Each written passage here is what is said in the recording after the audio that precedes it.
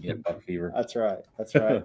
What's going on, guys? Hey, welcome to another episode of Tuesday Night Live, Tin Horse Monty YouTube channel. Sorry we missed last week. I was in Vermont, and um, I have to say, man, Vermont is pretty cool place to go visit. If you've never been there, put it on your bucket list, man. It's like a, it's kind of like um, the Ozarks or even some of the southeast Missouri in the area that we live, but there's 2,000 foot mountains around, but it has a lot of the same kind of hardwood trees mixed in with pines and stuff. And it's um, How's the weather? very the, the weather was uh the first two days it was like high 60s um and then the three or four days it was 40s okay. and then when we left on wednesday there it was snowing really? yeah so winter's starting to happen there Hmm. it was basically the same time we had that cold front here last week Yeah. it got really cold and windy and stuff that's what was going on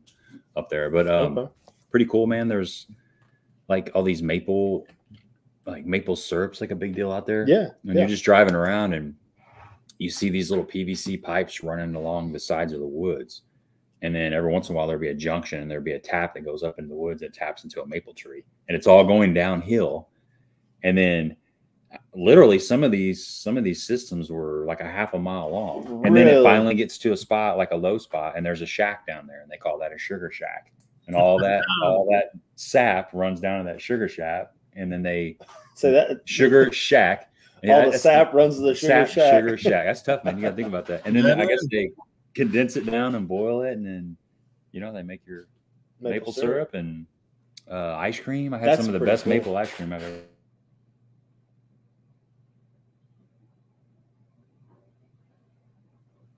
Still there. We'll be back. There we are. Back. Yeah. Um, anyway, it was a great trip.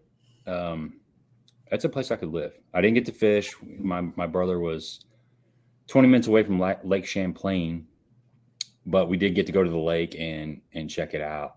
And uh, man, it's a big, big, big body of water. Can't see the other side of oh it. god, it's unbelievable. we we were flying over it. We landed in Burlington, and uh, just flying over it, it's like it's freaking massive. Yeah. I, I knew it was big on the map, but gosh, I mean, it was just there's islands everywhere, and um, it's a place that I definitely want to go back to and spend some time. There's trout rivers everywhere. Just it, it's it's beautiful, man. It's really. Could you really, bomb out there? I, probably. Yeah. Yeah. I'm gonna try to go. Or would you rather be in Colorado? Man, I'd probably. You gotta- you got a I'd probably rather be in Colorado. Colorado, but that'd be that'd be right up there too. So, Yeah. um, uh, and you ever been out uh in the north north uh east at all, Eric? I've been to uh, Maryland. Um, Chesapeake Bay was pretty cool. Um, not not to Vermont or Maine or you know none of them states like that, but been to New York. But uh, Well, New York's got that same kind of yeah, uh, same kind of landscape. Upstate New York. At Yeah. least. Yeah. You you Pennsylvania, there- there's some pretty cool scenery in Pennsylvania too. I've been out there, but it sounds a lot like uh, just a couple weeks ago. I was at Lake Ouachita in Arkansas for the uh, Twisted Cat Championship down there, and it's it's got a lot of that, like the Ozark Mountain. You know, I mean, it's it's pretty mountainous and big timbers. It's real cool terrain. I think that lake has like 200 islands. It's 200 foot deep. It's Wow. pretty cool. Pretty cool. 40,000 acre lake. I think it was. It was pretty cool body of water, but it sounds real similar to what you were describing. Yeah, it, we got to see some of the the leaves. I mean that that area is notorious for this fall foliage and the, and the, the vibrant colors. Um, but Right. most of the most of the leaves were like that yellow orange. And he said, my Mhm. brother said that um, they've had a lot of rain this year, and too much rain messes with the colors of the the leaves. colors. Kind of mutes the cover the the leaves, and um, and then a lot of them dropped too soon. There was hmm hillsides that were the, the leaves had already dropped. But we did get to see, you know, some pretty good yellowish yellow. I'll tell you what, So it we was- had some great color around here this year. we did. Yeah, there I was mean, some we, when we were up in northern Missouri, uh, deer hunting. We there was one corner that you would go by, and it was just yellows and bright oranges and the deep reds. It's like, oh my gosh, like this is this is what it's all about. And you kind of slow down around that corner as you as you're driving back to the the cabin that we stayed at. It's like this is what it's all about, guys. so me and the wife, we took a drive a couple weekends in a row up through Marquette Park up here by us, and and it uh, it changed a lot in one week. But we like to do it several times, and as it's changing the colors, and then we'll do it again when all the leaves hit the ground, and you can really see through the timber and then big hills and stuff, and it's pretty cool. Right. Yeah. That, that's when you take your binoculars and you look and see what you're missing out there. Oh, right? Oh yeah, we've seen a few big bucks up in there on I our drives. I came about that close to hitting like a 170 10 point last night. Oh man. Here? No, wait. Yeah. Oh, yeah. Wow. Yeah. It was uh it was out near my house. We were on the way back in from town. We went to supper last night and it's coming back in I've been up in northern Missouri, and the deer in northern Missouri are huge. And I saw this deer standing on the side of the road, and I was like, "Oh, there's a little doe standing there." And as the the headlights came around, I just saw the rat come straight up. and I was like, "Oh God!" we raced, and there was a car coming at us, and cars behind us. There was no way to like slam on the brakes without you know having a, a giant accident. Unfortunately, he just turned and walked right right away. It's like, oh, thank you, Lord. Nice. Yeah. Right. But it was he was an absolute giant. We, we had we were last night about nine thirty. We're just sitting in the living room. Actually, I'm downstairs and the girls are upstairs, and all of a sudden, I we we heard emergency response vehicles, one right after another, one right after another. They stopped right out here in front of Tom's house. Really? We couldn't figure out what was going on. There was probably there was two or three fire trucks, several uh, sheriffs, and uh, I think a tow truck and maybe an ambulance. I'm not sure. It was just it was chaos. And first thing I did is go down and grab a shotgun and put three shells in it and put five in my pocket because I'm like, I don't know what's going on. And right. then they said there's somebody out there and there's a police officer out there in the field walking around out in our fields, two of them. One I don't know if they were on our side of the road. I think they were on the other side. So you never road. know what's going on. But I, yeah, so it made me think like somebody maybe got robbed and or the fleeing, guy took off right. and was fleeing, and so we made sure we locked all the doors and stuff. And um, it, it was it was chaotic for a while. And we're kind of they wouldn't let me go. I like to go outside. Mm-hmm. I mean, I'll get in the shadows and just watch. I'm, I'm a guy. I'm a guy that's going to get hit by lightning or a tornado or yeah. a bear attack or something because I'm going to be right up in there trying to. I'm, I'm just curious, man. They would not let me go outside, and so I'm kind of peeping through the windows. And long story short, we found out this morning that somebody had just hit a deer out here, and I don't know. It must have been a slow night in Fruitland, Missouri, right? Because there was all everybody came out to see what was going on. Uh, but I uh. think what was going on is the the, the cops that were in the field were just looking for the deer. That's the only right. thing I can figure out. And I I, I don't know what happened to the uh, the vehicle or if the person that was driving was okay, but it it was hot and heavy for about thirty to forty five minutes, and then just kind of fizzled. Well, and, and, and you guys don't know this, but he's out in the middle of nowhere, right? Like struggle with internet out here. They they bring the sunshine in in buckets out this far. we ain't that far. So um, we do have electricity, but uh, there's not anything around. So you got flashing lights and sirens and yeah, yeah. The big right. the big city lights, right? Like right where I where I did live off of 61, it was we see well, that stuff happens two or three times a day. Yeah. But out here something something with flashing lights goes by and sirens. Yeah. We, we always, happen. we always wonder like when we get done with the when we get done with the stream, we'll be outside talking. It's like where are all these people going on a Tuesday night at you know 10 30, 11 o'clock? Why is there so much traffic on this road? It'll be like three cars just and then nothing for like 15 minutes, and then three cars again. Like, man, where y'all going? Yeah. Um, so where where exactly do you live at, Eric? Uh, I'm in a small town called Bunker Hill, Illinois. It's uh, okay, about 18 miles north of Alton. Gotcha. Um, 35 miles north of St. Louis, I guess, or 40, something like that. So did you grow up in that area or? I've lived here my whole life. Yeah. I don't know if I ever really grew up, but I've lived here my whole life. hey, Wife's that's way to childish, so Ain't you no know, reason to yeah, grow up, right? Yeah, that's for nah. that's old people. You know that's right. Todd said he caught his PB, PB flathead. I, I, bet it was at Cedar, summer fishing.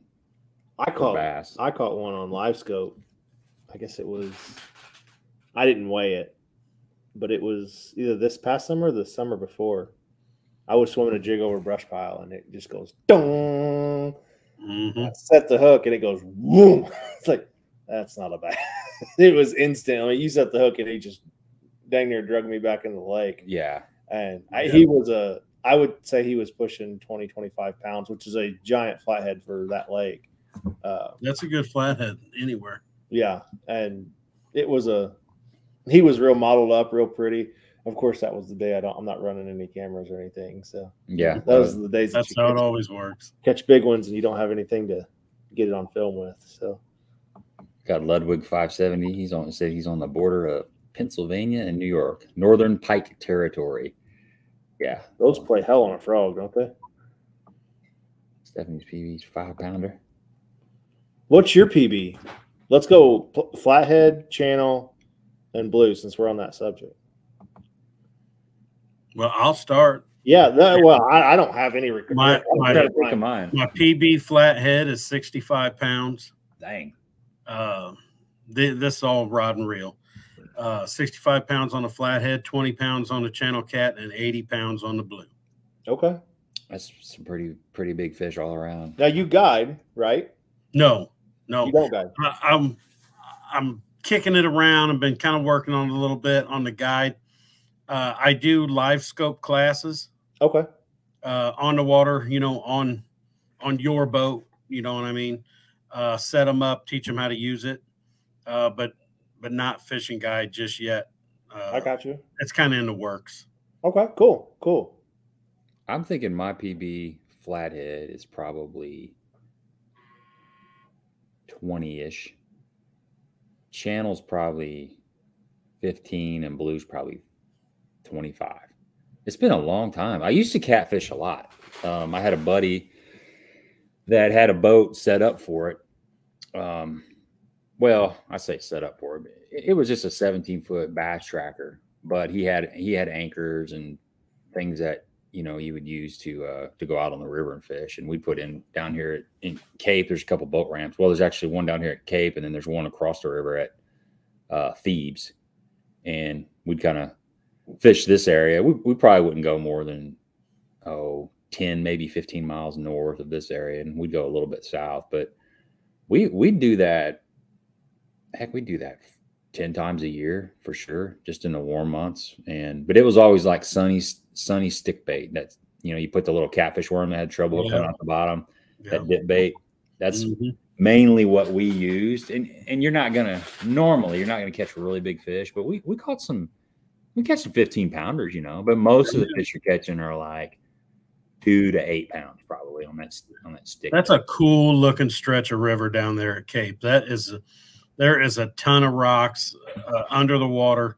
I mean, that, that is just a really cool looking stretch. We when I we pre fished it and found a bunch of flathead uh, when we had a, a tournament down there. We we caught a bunch of flathead. wasn't what we were looking for, but I mean, we Mhm. stumbled into quite a few right up in the rocks. You know, it was it was pretty cool looking area. It was really cool. What last year, a year before, when the the river was so low, and you could see, like, what folks don't realize is how how shallow the Mississippi really is. Yeah.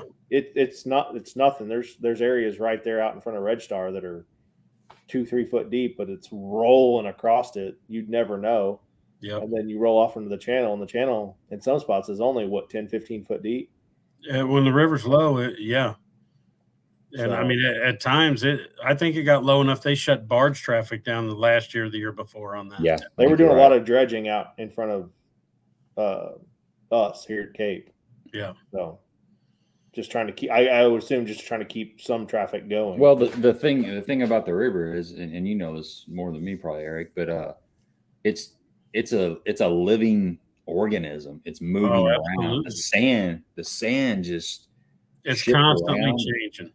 yeah, And, and, uh, uh, even more so, like in you guys' area, you know, you get below the confluence of the Missouri and stuff. There's no more lock and dams, so I mean, it's it's constantly moving heavy. right. you know, Mhm. down there. And and the bottom's changing a lot, a lot more sand in that area down there than there is above the confluence. And it's definitely, definitely changing a lot. Ah. So You got to have respect for that river. I can tell you that. Yeah. Oh, absolutely.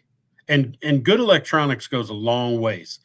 They, I mean, not only for finding your fish and and your contour lines and and uh, uh, your depths and everything, but for marking the buoys, for marking the the dikes and everything. The the the, the good electronics mark all that, and it help keeps you safe. You know, Right. And they mark it pretty well. Yeah, the my first experience was, I believe we were bow hunting on the off of an island that's public ground that we can get to, uh, but you can only access it's an island, so you can only access it by boat. Well, we were running. My buddy ran the river quite a while, and we were running down, and all of a sudden it just picks us up and moves us over about ten feet and sets us back down.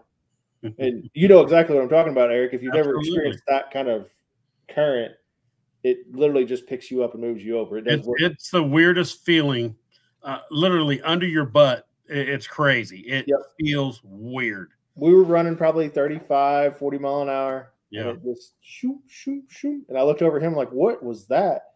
And and he he's you know locked on. He's not didn't turn the wheel or anything. I'm like, No, "Was that's that the best thing you can do. You stay under power and you just you drive straight through it Yep. and just I mean just hang on tight and just stay under power. It was and about you- like that. It was puckered up pretty tight. I promise you. Oh that. yeah. oh, uh, definitely. I know exactly what you're talking about. I And it- one- you ever been over like one of the craziest stretches around here is is right at Cape Rock, um, Which is north of which our- is north of uh, Cape. Yep. But there's a the the river gets really deep right there, and you get like a kind of a vertical eddy thing going. And I remember years ago we'd be running through there, and there's actually uh, like whirlpools. You know, there's there's like there's like legitimate whirlpools. Not not enough Hey. to suck your boat in, but enough to where the front of your boat has to go across them for about three feet or four Right. feet to get to the other side of it. And oh yeah. it's Absolutely. scary.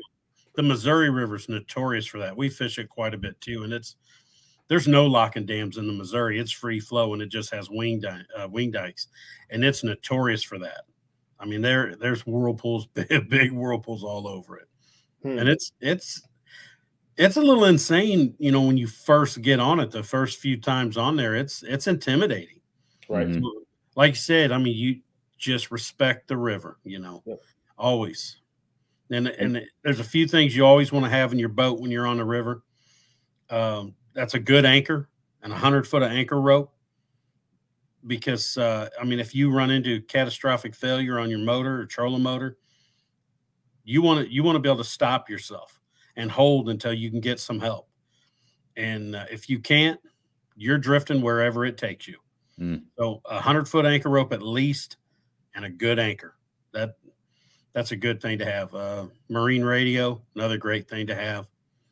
You know, of course, always the life jackets and fire extinguishers, standard stuff. But that I I know personally know several people that that anchor has been the difference in them having a very bad day and them just needing somebody to come out and tow them back home.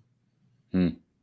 So- Well, and you, what if you've been on the river, whether it's the Missouri, whether it's the Mississippi, any river, you you don't realize how fast they're going until you're in a boat that's not under power, yeah, Or, or or or, you're that heading you're towards a dike. or that you're under power and you're not going anywhere.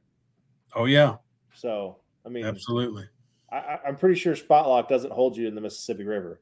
It it depends. I got I just have an 1860 roughneck, Okay, but I got a 36 volt 112 thrust Terrova on it. That sounds like an overkill for that boat, but I fish the river a lot.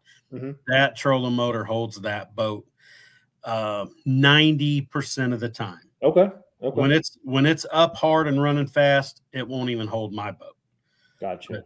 but most of the time it'll it'll hold my boat. But my boat's lighter than a lot of the the big traditional catfish boats, the SeaArk boats and and stuff.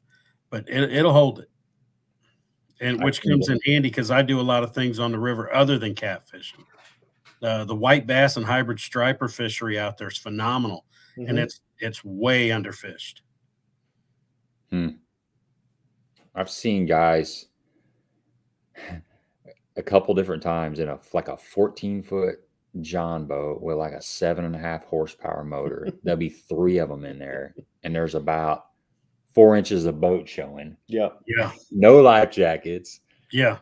That's to me, yeah. to me, that's insanity. I mean, Yeah. I would never be one of them three in the boat. No, No. that's a death I'll. I'll be the guy.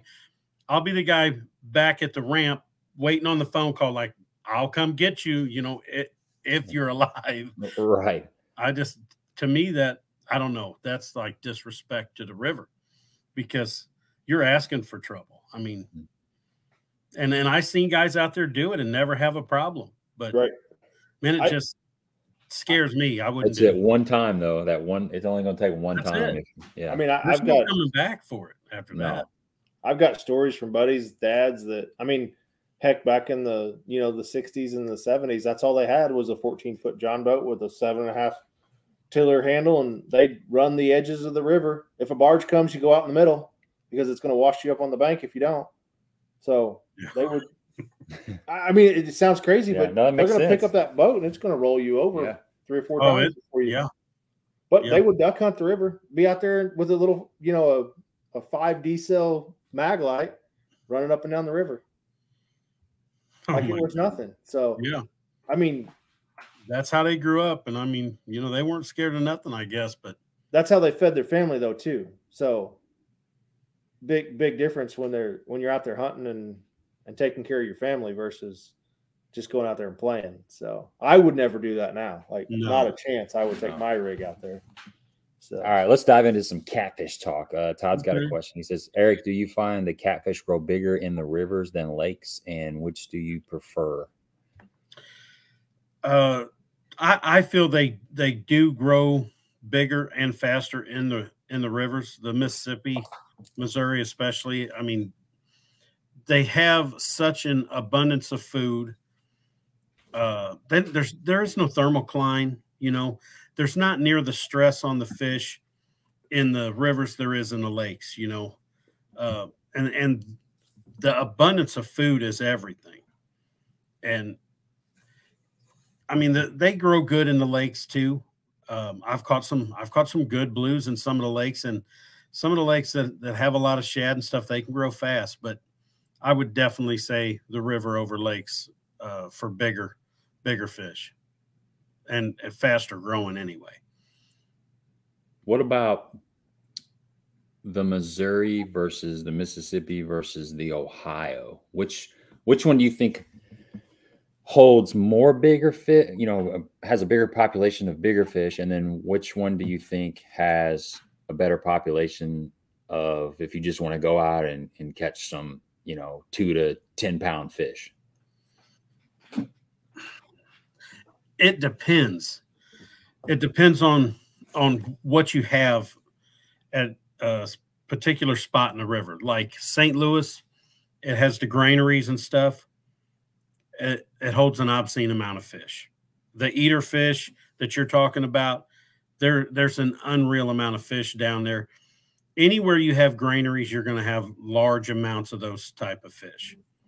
Um, the are Missouri, they feed, are they feeding on that grain? yeah, absolutely. Okay, okay. they'll feed on the grain and uh the other fish the carp the drum i mean the other fish feed on it too the big blues they'll come up there and eat the other fish that are feeding on the grain i mean Hmm. they're they're a massive predator so i mean they're not going to pass up an opportunity like that but yeah some some days i mean you'll catch the catfish down there and if you keep some at the end of the day you're going to have a pile of grain in the live well Okay. Oh, yeah. no, it's uh, so granaries are a big difference. Um, the Ohio has a lot of mussel beds in it, which are very productive. I haven't fished the Ohio, um, not much at all, but I, I I know some guys that do, and and man, the mussel beds seem to produce a lot of fish.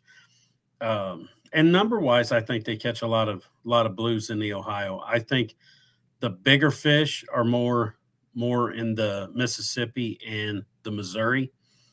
The Missouri has it, it's put out a lot of really big fish.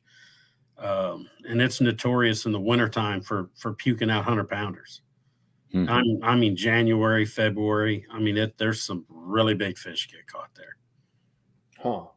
So it's any one of those rivers.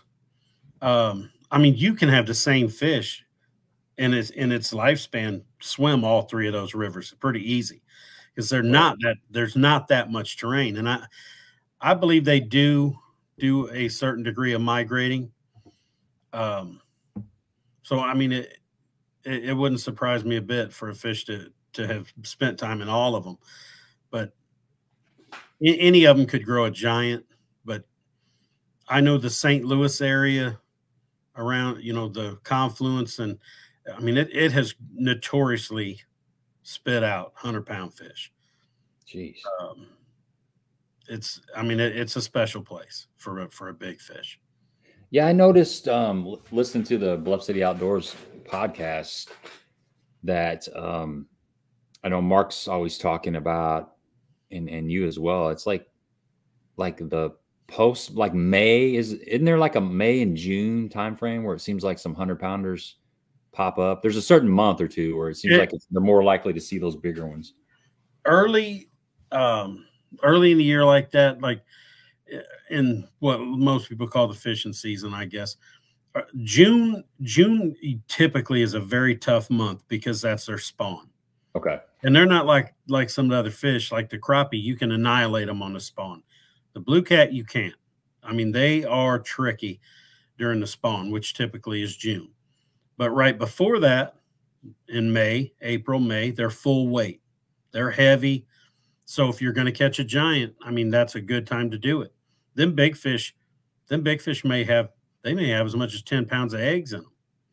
Jeez. So, I mean, that's a very good time. The winter time, January, February, some of the biggest fish I see get caught during that time.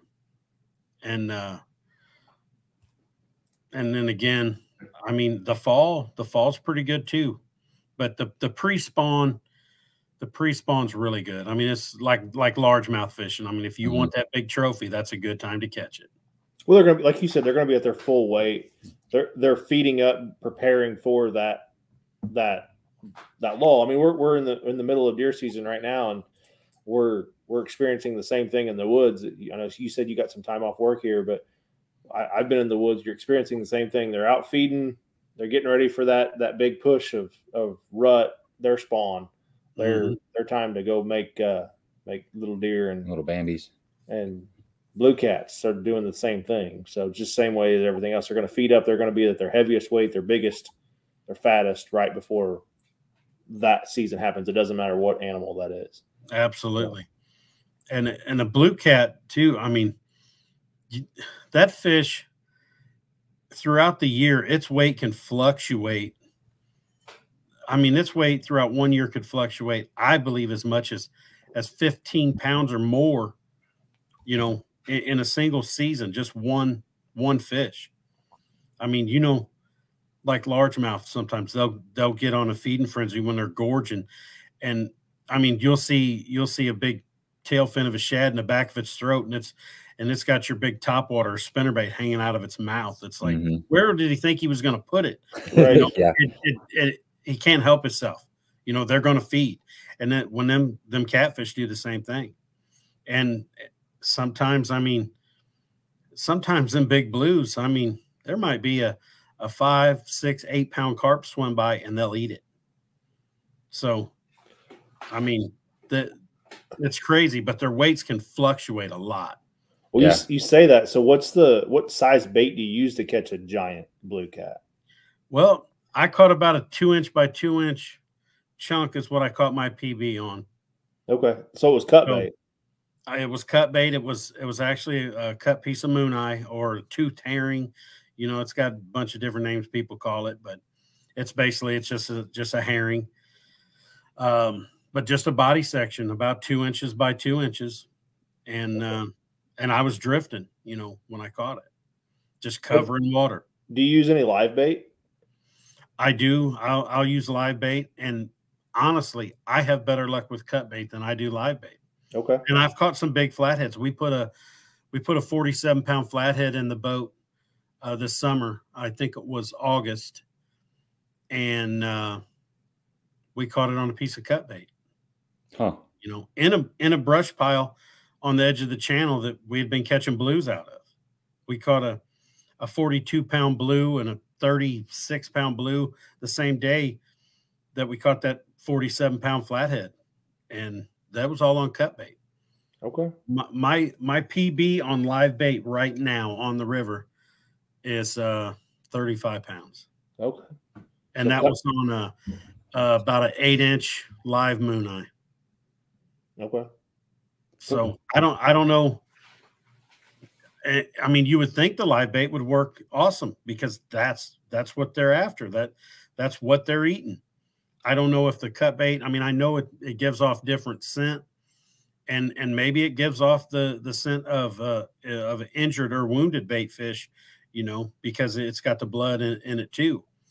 But I have much better luck on cut than I do live, honestly. Kind of that feeding frenzy deal that you're talking Yeah. about. I mean, you get you you ever if you've ever and I experience this bass fishing, and it's typically this time of the year when the shad are out in the middle and they start blowing up on shad, and you'll get up to a, a spot where they had just got done feeding, and you'll see scales and sh- and you almost see like a You see sheen. oil, Yeah, yeah. I was gonna say an Yeah. oil sheen across the It's water. like a crime scene. uh, and there's stuff floating in the water, and it, it, it what you just said, a crime scene, just happened. Uh, Absolutely. I would imagine that's the same thing. You take a cut bait. Do you chum for them too as well? No, I don't. I don't chum. Um, I don't. I mean, it's hard to chum for them too. I mean, the river, it's got the current, it's constantly moving, Right.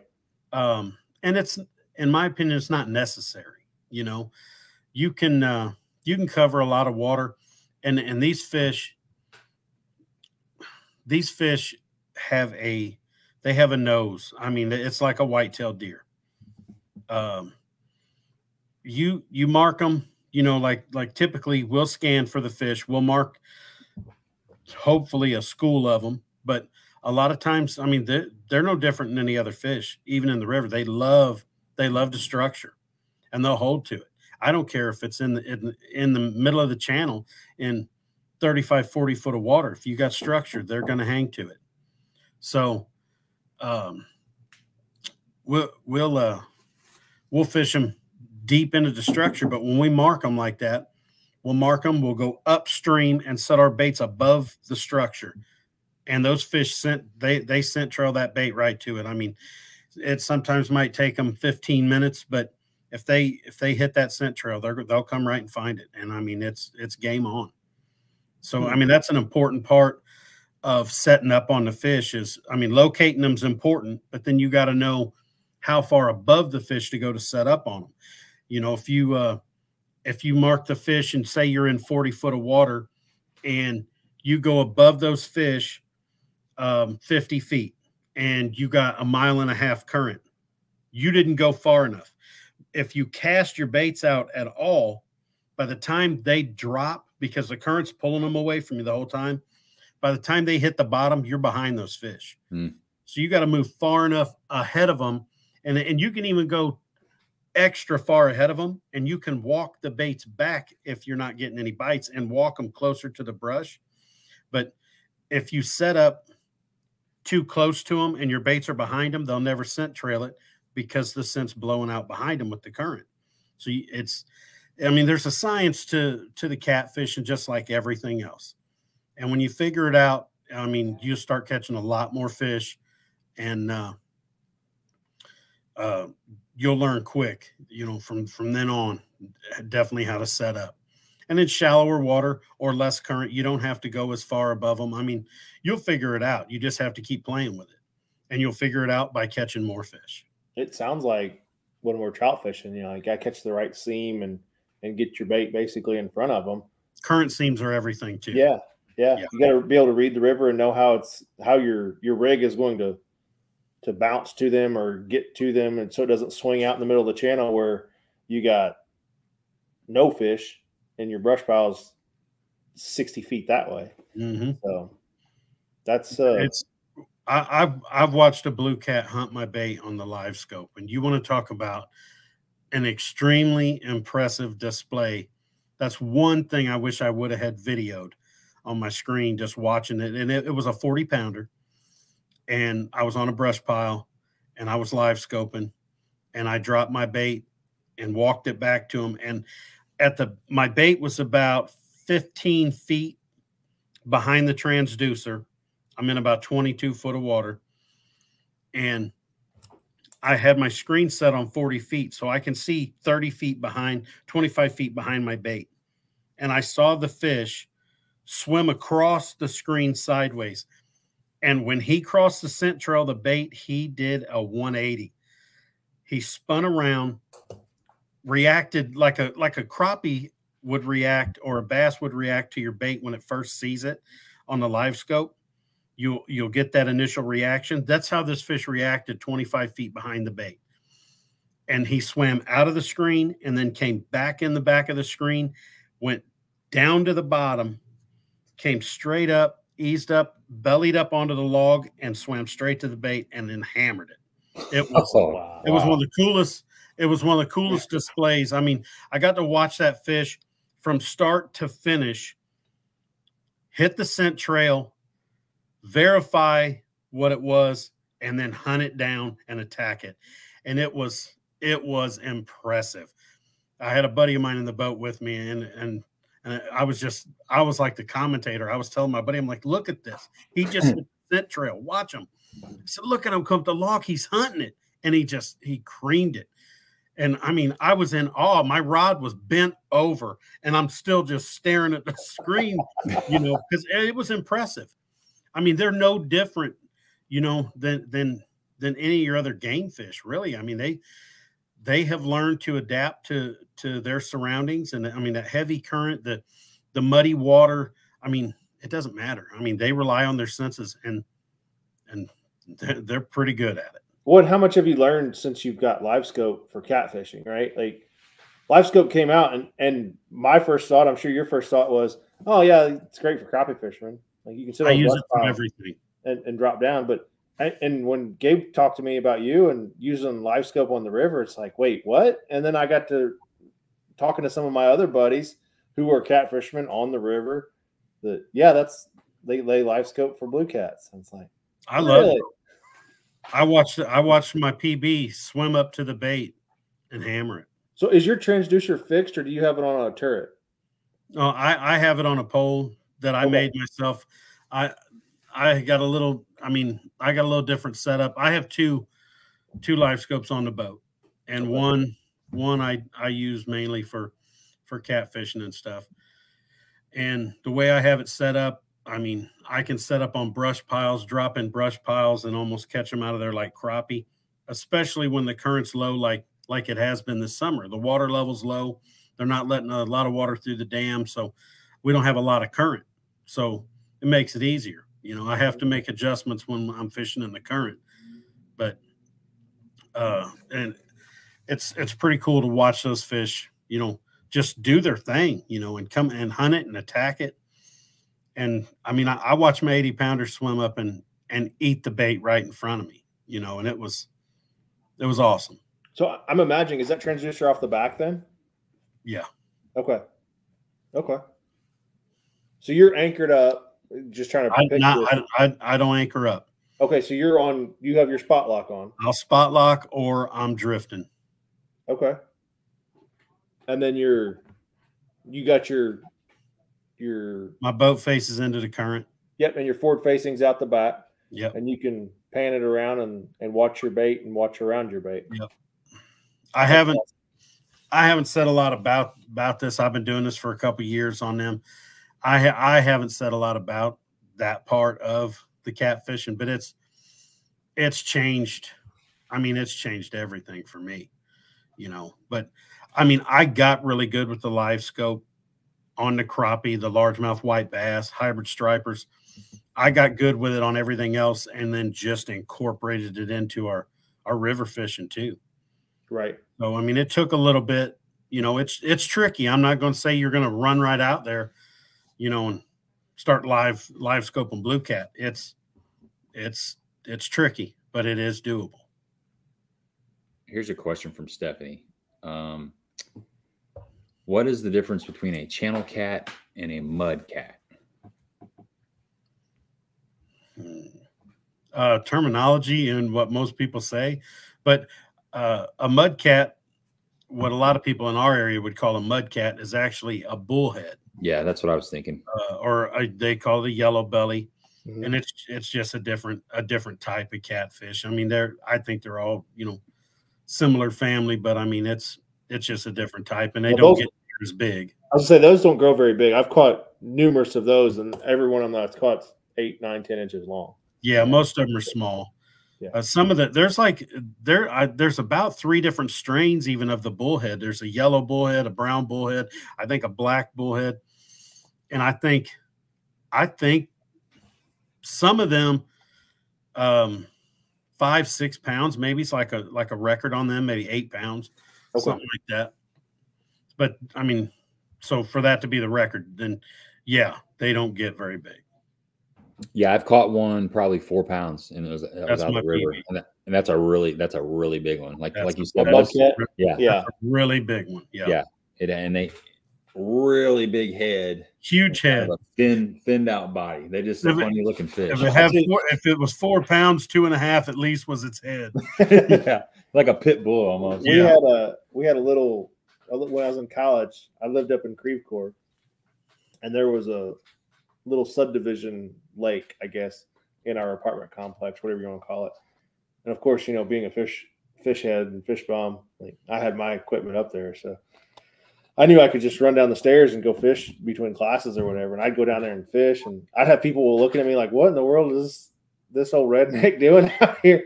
Well, there wasn't anything in there but a bunch of yellow belly catfish that was in that little pond. Yeah.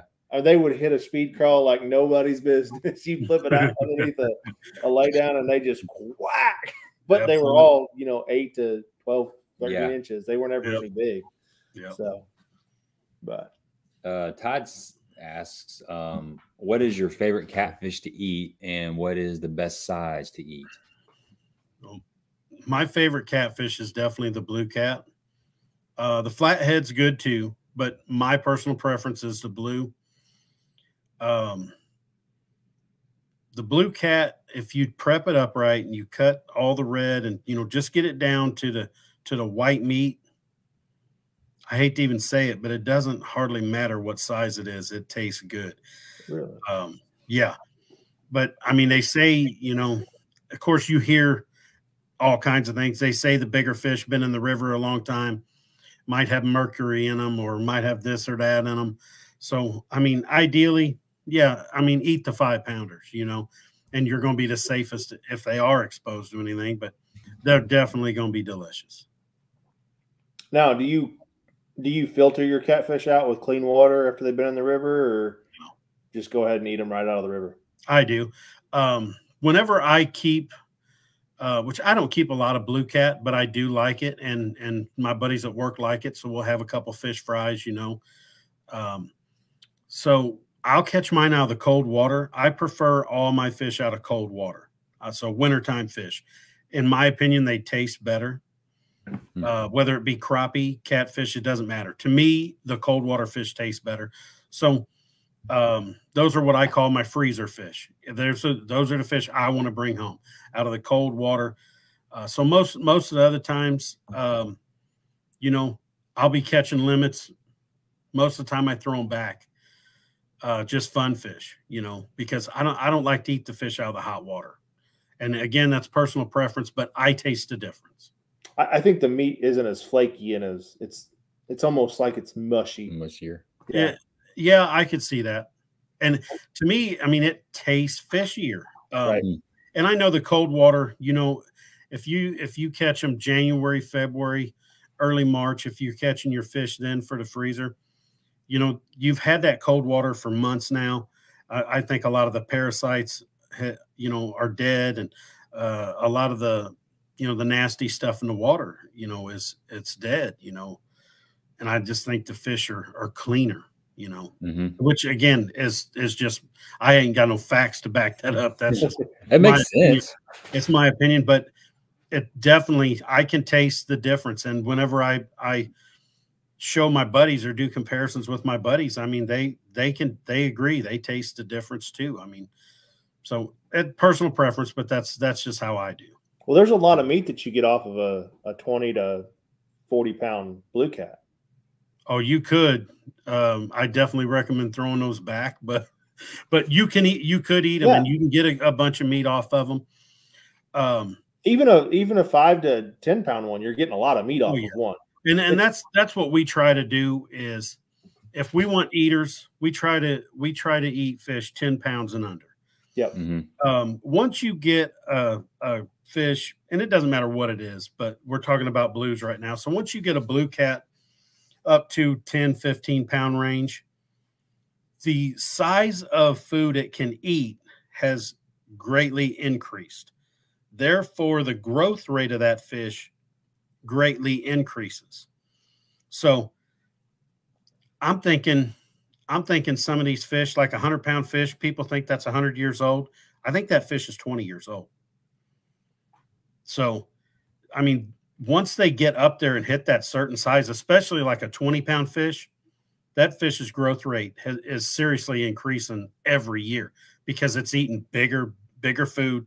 It needs more food to sustain itself. So it's feeding more. I mean, it's it's going to grow fast. Yeah, if it's eating if it's eating a take a take a 60 pound fish and it's able to eat a five to six pound carp, no problem, once or twice a day, or just just just say once a day. I don't I don't know how often they feed, but it, it, it'll just, need close to that to sustain itself. Yeah, so you can see you just start doing the math, and it's just it, it's it quantifies. It's going to continue to grow bigger yeah. and faster because it can put bigger stuff in its mouth. Well, and they're opportunistic feeders too, right? They're not I'll tell you what, I used to really believe that until I started live scoping them. Really, they're they're predators. Huh? I think I, I think I think the blue cat are some of the pickiest fish I've ever fished for. it sounds personal. I, I honestly, I'm not kidding. I think I think sometimes they are the pickiest. Um, I mean, they have three, four, you know, maybe um, they got a lot of different food to eat, but they got a handful that is readily available to them all the time, and that's mm-hmm. the carp, that's shad, uh, the mooneye, and the skipjack in our area. They got a good part of the year. Now, like when the cold water's getting here, we're coming up on the on the. There's going to be a big shad die off this winter. It's a shad bite. I mean, you just use shad because there's an abundance. It's easy for them and they're going to be able to gorge and feed up right before winter on them. So we use shad. We catch the crap out of them. But there's certain times when skipjack, it, it's it's a skipjack bite, and they'll and it's even weird. They'll even go a step further. It'll be skipjack heads. Now, how the heck do they determine the difference between the head and the body? But they do. I mean, you could have two guys side by side in the boat, back bouncing or bumping, and one guy can be using body chunks and the other guy using heads. And that guy using heads sometimes might catch every fish of the day. He might catch 10 12 fish and the guy using body pieces never caught a fish. Huh. i don't i mean i don't understand it. And i've watched them swim up and put their nose right on a live mooneye uh, a live skipjack a live asian carp and swim away from it. And i've watched them I mean, one one instance, me and my buddy, we dropped a um, about an eight inch live Asian carp down in front of the fish. He swam up to it and swam off. I'm like, you can't say no to that. I mean, it's perfect size. It's alive. I can see it swimming in your face. So I pulled it up. I cut the tail off, where now it's bleeding, but it's still flipping around because it's alive. Dropped it back down, but now it's injured. I'm like, okay, predatory instinct kicks in. You're eating him now swam off. So I had my buddy with me and I told him, I said, pull it up.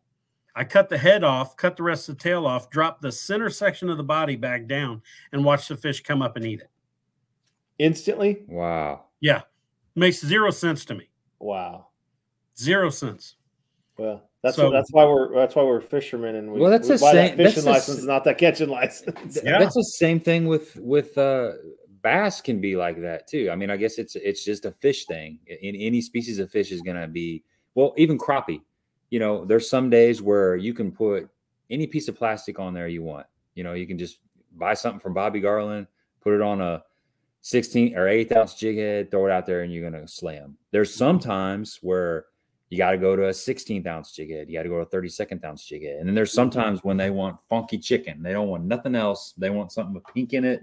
There's sometimes when they want black and chartreuse. It's it's crazy. I mean, you go through like six or seven different colors, and you'll finally find one that they want. Um, you, you yeah. see that all the time with bass fishing. If you're if you're out there live scoping, they want a certain bait yep. over everything else, and and you got to be patient enough to go through all those, or you're not. You do fish. And and a big a big thing that's frustrating with the LiveScope that most people don't understand. I never understood it. Uh, and I, my my fishing background started hardcore bass fishing, and I had when I started live scoping for bass, I had no idea how many fish actually followed my bait that never hit it. Yeah, you get so many follows, it's insane and and I'm thinking, oh, there ain't no fit, man. The fish ain't biting there. There ain't no fish here today. And on the LiveScope, I'm watching all these fish follow it up, and uh, it's crazy. It's like, holy crap, man. I mean, you're in them, but something is not quite right. Your presentation's off a little bit. Your color's off a little bit. I mean, something's off a little bit. And if you can figure that out, those follows they they turn into strikes. Right. Well, I mean, how many times have you been crappie fishing with LiveScope? Or before LiveScope when you're, you're fishing a brush pile, you saw them on there and they moved or or we caught them all. You didn't catch them all. Not even close. You, you caught you, just, you caught, you, you caught a bunch. You educated the rest. Yeah, yeah, exactly. And now now they and, won't bite again. And what we what we always did before the LiveScope, I mean, we'd scan for the brush piles. We'd find them. We'd throw the marker buoy out. We'd circle around. We'd jig around, get snagged up or whatever, throw another marker buoy. But typically we drop to the bottom, come up a foot, come up a foot, come up a foot.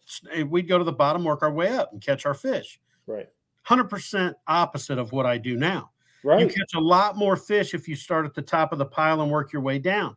When you start at the bottom of the pile, you're spooking a bunch of those fish. Yep. So educate so them as they go up. You do. You educate them. So you you catch a few fish, the rest of them shut down. They're like the gig's up. I see what's going on. I'm not falling for that. Right. If you start at the top of the pile and work your way down and fish the edges of it, you'll catch a lot more fish off that pile. So the LiveScope is a very effective tool in learning not only the behavior of the fish, but how they react to your baits and and it cuts your time down uh, figuring out how to catch those fish. I, I, can pull up to a pile, um, standing tree, say, and this is how I describe it to my buddies. If I pull up to the tree and the crappie are the leaves on the tree, okay, if it looks like there's a bunch of leaves on the tree, it's full of crappie, but it looks like it's a very calm day. None of the fish are moving. They're all sitting still. Nothing's moving. It's going to be a tough bite. Now, if you pull up to that tree and all them, all the leaves on it, the crappie on it, are it looks like it's a windy day. They're all moving all over the place and they're really active. You're going to wreck them. Mm-hmm. So I can pull up, and and once you use the scope enough, you can pull up to a pile and even know if, well, that's a bunch of eight, nine, you know, inch fish, short fish, you know. So you don't even have to fish it if if they're not moving, if you know it's going to be tough, you can move on. You don't have to waste the time fishing it. So uh, it, it's a valuable tool, and the and the way like I use it to uh, narrow down my size, narrow down my colors. If I if I drop a bait in there, and the crappie almost always will react a little bit to your bait when they see it. If I'm not getting much of a reaction, I'm totally off what they want to eat whether I'll change um, I'll change sizes, I'll change from plastics to hair jigs and even colors. I I need a I need a solid reaction and I know when I get a solid reaction I'm on the right track. When a then if I start to get short strikes, then it's it's like a puzzle you're putting the pieces together. But I know okay, I'm getting closer. And then then you're going to get to the thump and when it's thumping, you you've nailed it. You put it together and you've nailed it. See what you just said though, that proves that just because you have LiveScope doesn't mean you're loading the boat with fish. You still no. got to put the puzzle together. It's just a piece oh. that helps us put that puzzle together. It's a valuable tool. Yep. But everybody, I, I have the debate all the time. Oh, you're a live scoper. You're cheating. Well, hey, I've been fishing all my life, and I've I've got a ton of of pictures pre LiveScope. I mean, I caught 35 bass in Illinois over seven pounds before the LiveScope. My PB is a 1015 in Illinois. I have four more over nine pounds.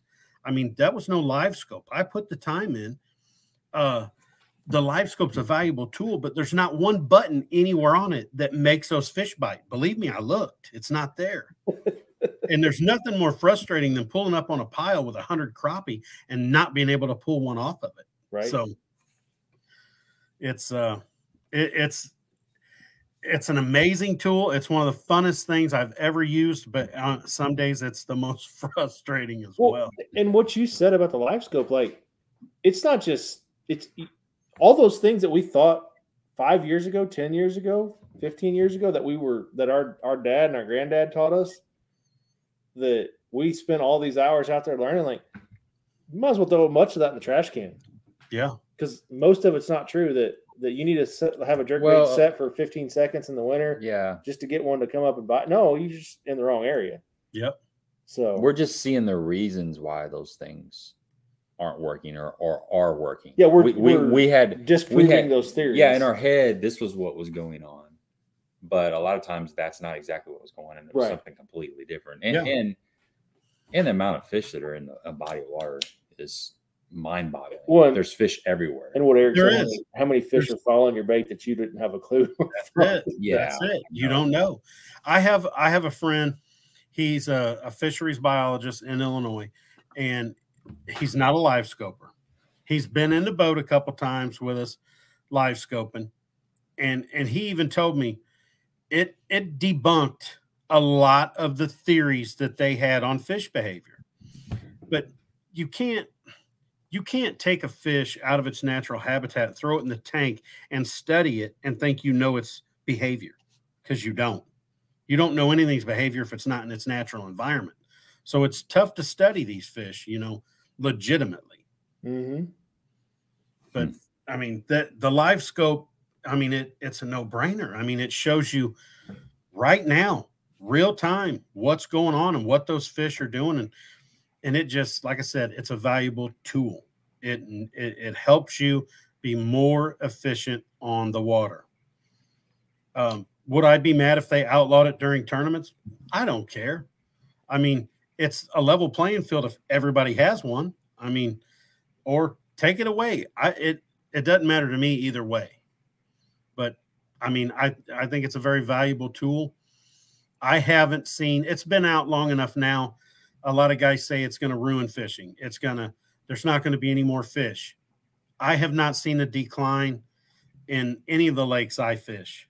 And the lakes I fish are pressured regular. I mean, there's there's guys on the water all the time. Carlyle's fishing as good as it ever has since I've been fishing it. And I mean, that lake, that lake is, I mean, it gets hammered, but it's it's just an amazing fishery.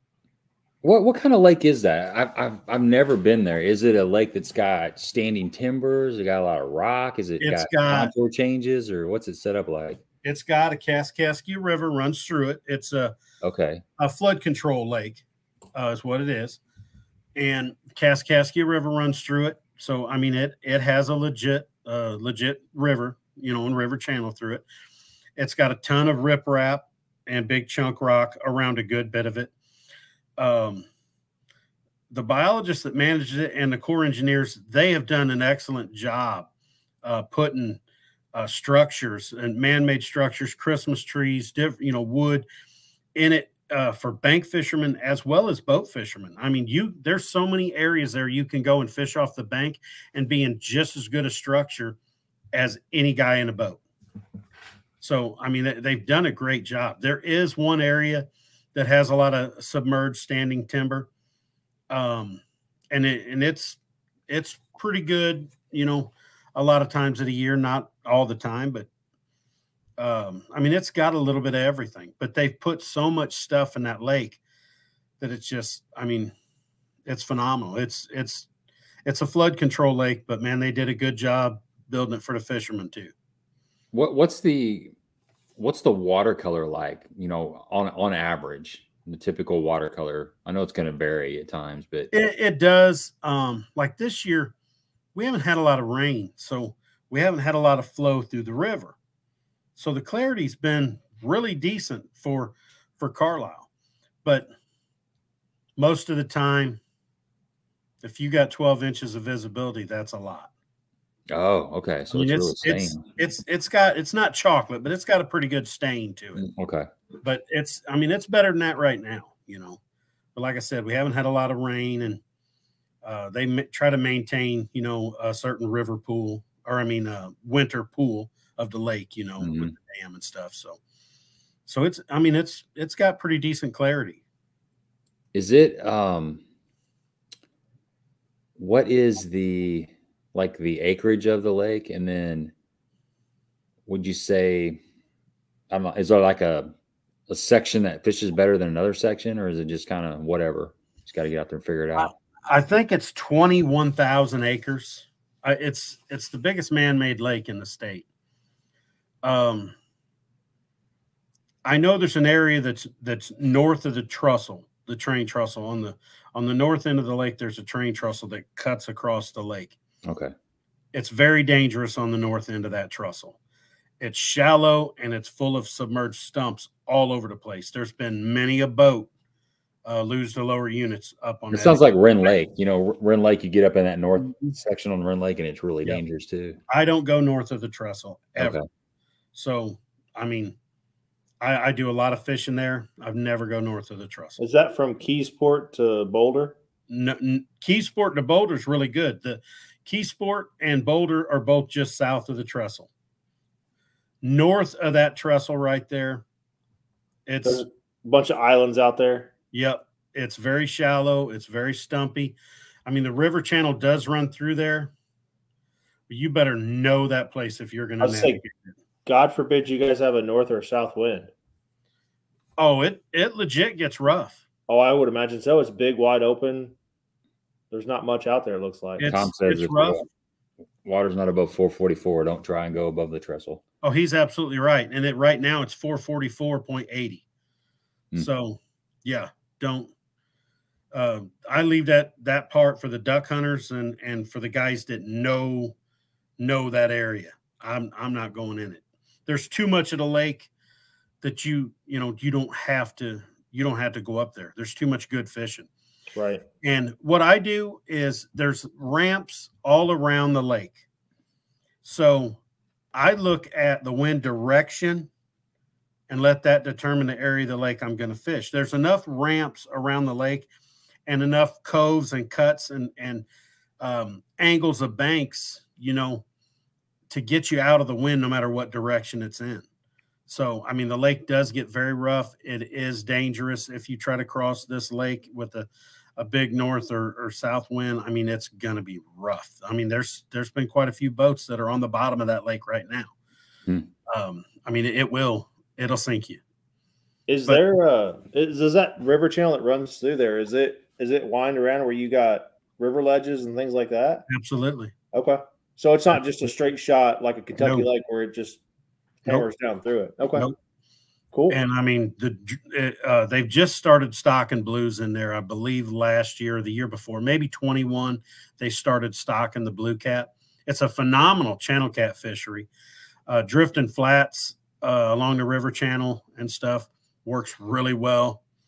Um, dragging baits, drifting, uh, anchoring off. I mean, the guys do every kind of. They jug fish it. I mean, they do every kind of fishing you can. But I mean, I catch a bunch of channel cat, even crappie fishing there. It's got it's got a very healthy population of nice channel cat. I got you.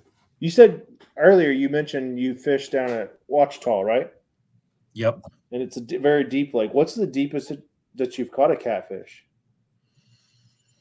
Uh, we didn't catch anything deep there. There was a there was a massive thermocline at 40 feet at Ouachita. Okay. So, which I mean, when you when you get to reading your sonar, and I mean, you can you you can see that thermocline and you know what you're looking at. You can eliminate a lot of a lot of water you don't have to mess with. Absolutely. Absolutely. Um, the deepest I've caught them's been been in the river, and um, we we catch them, you know, 50, 60 foot deep. And in my area, that's I mean, there's a few holes that are deeper than that, but that's majority of that's the deepest I get. Okay. So, but I mean, we'll catch them there. But eh, the rivers are different than the lakes, you know. I mean, it's constantly turning. There's no thermocline.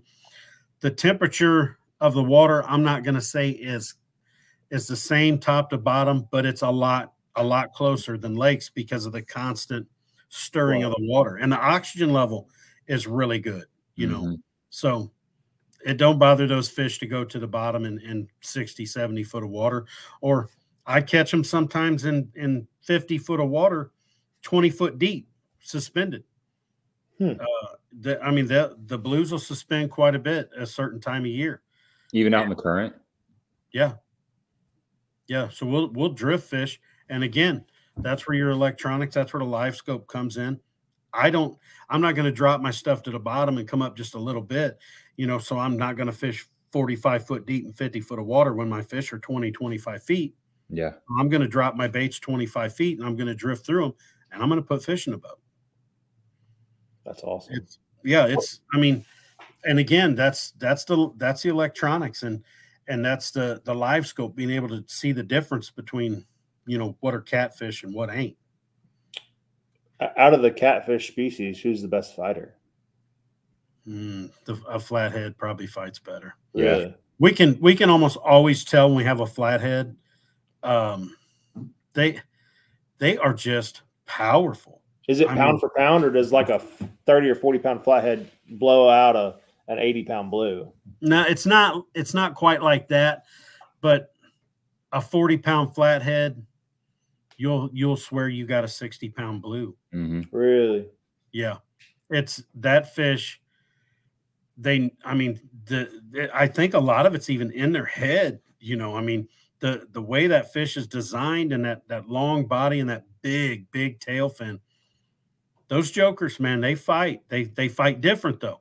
We almost always know when we got a big flathead on because they just fight a little different. But I mean, they're powerful. Yeah.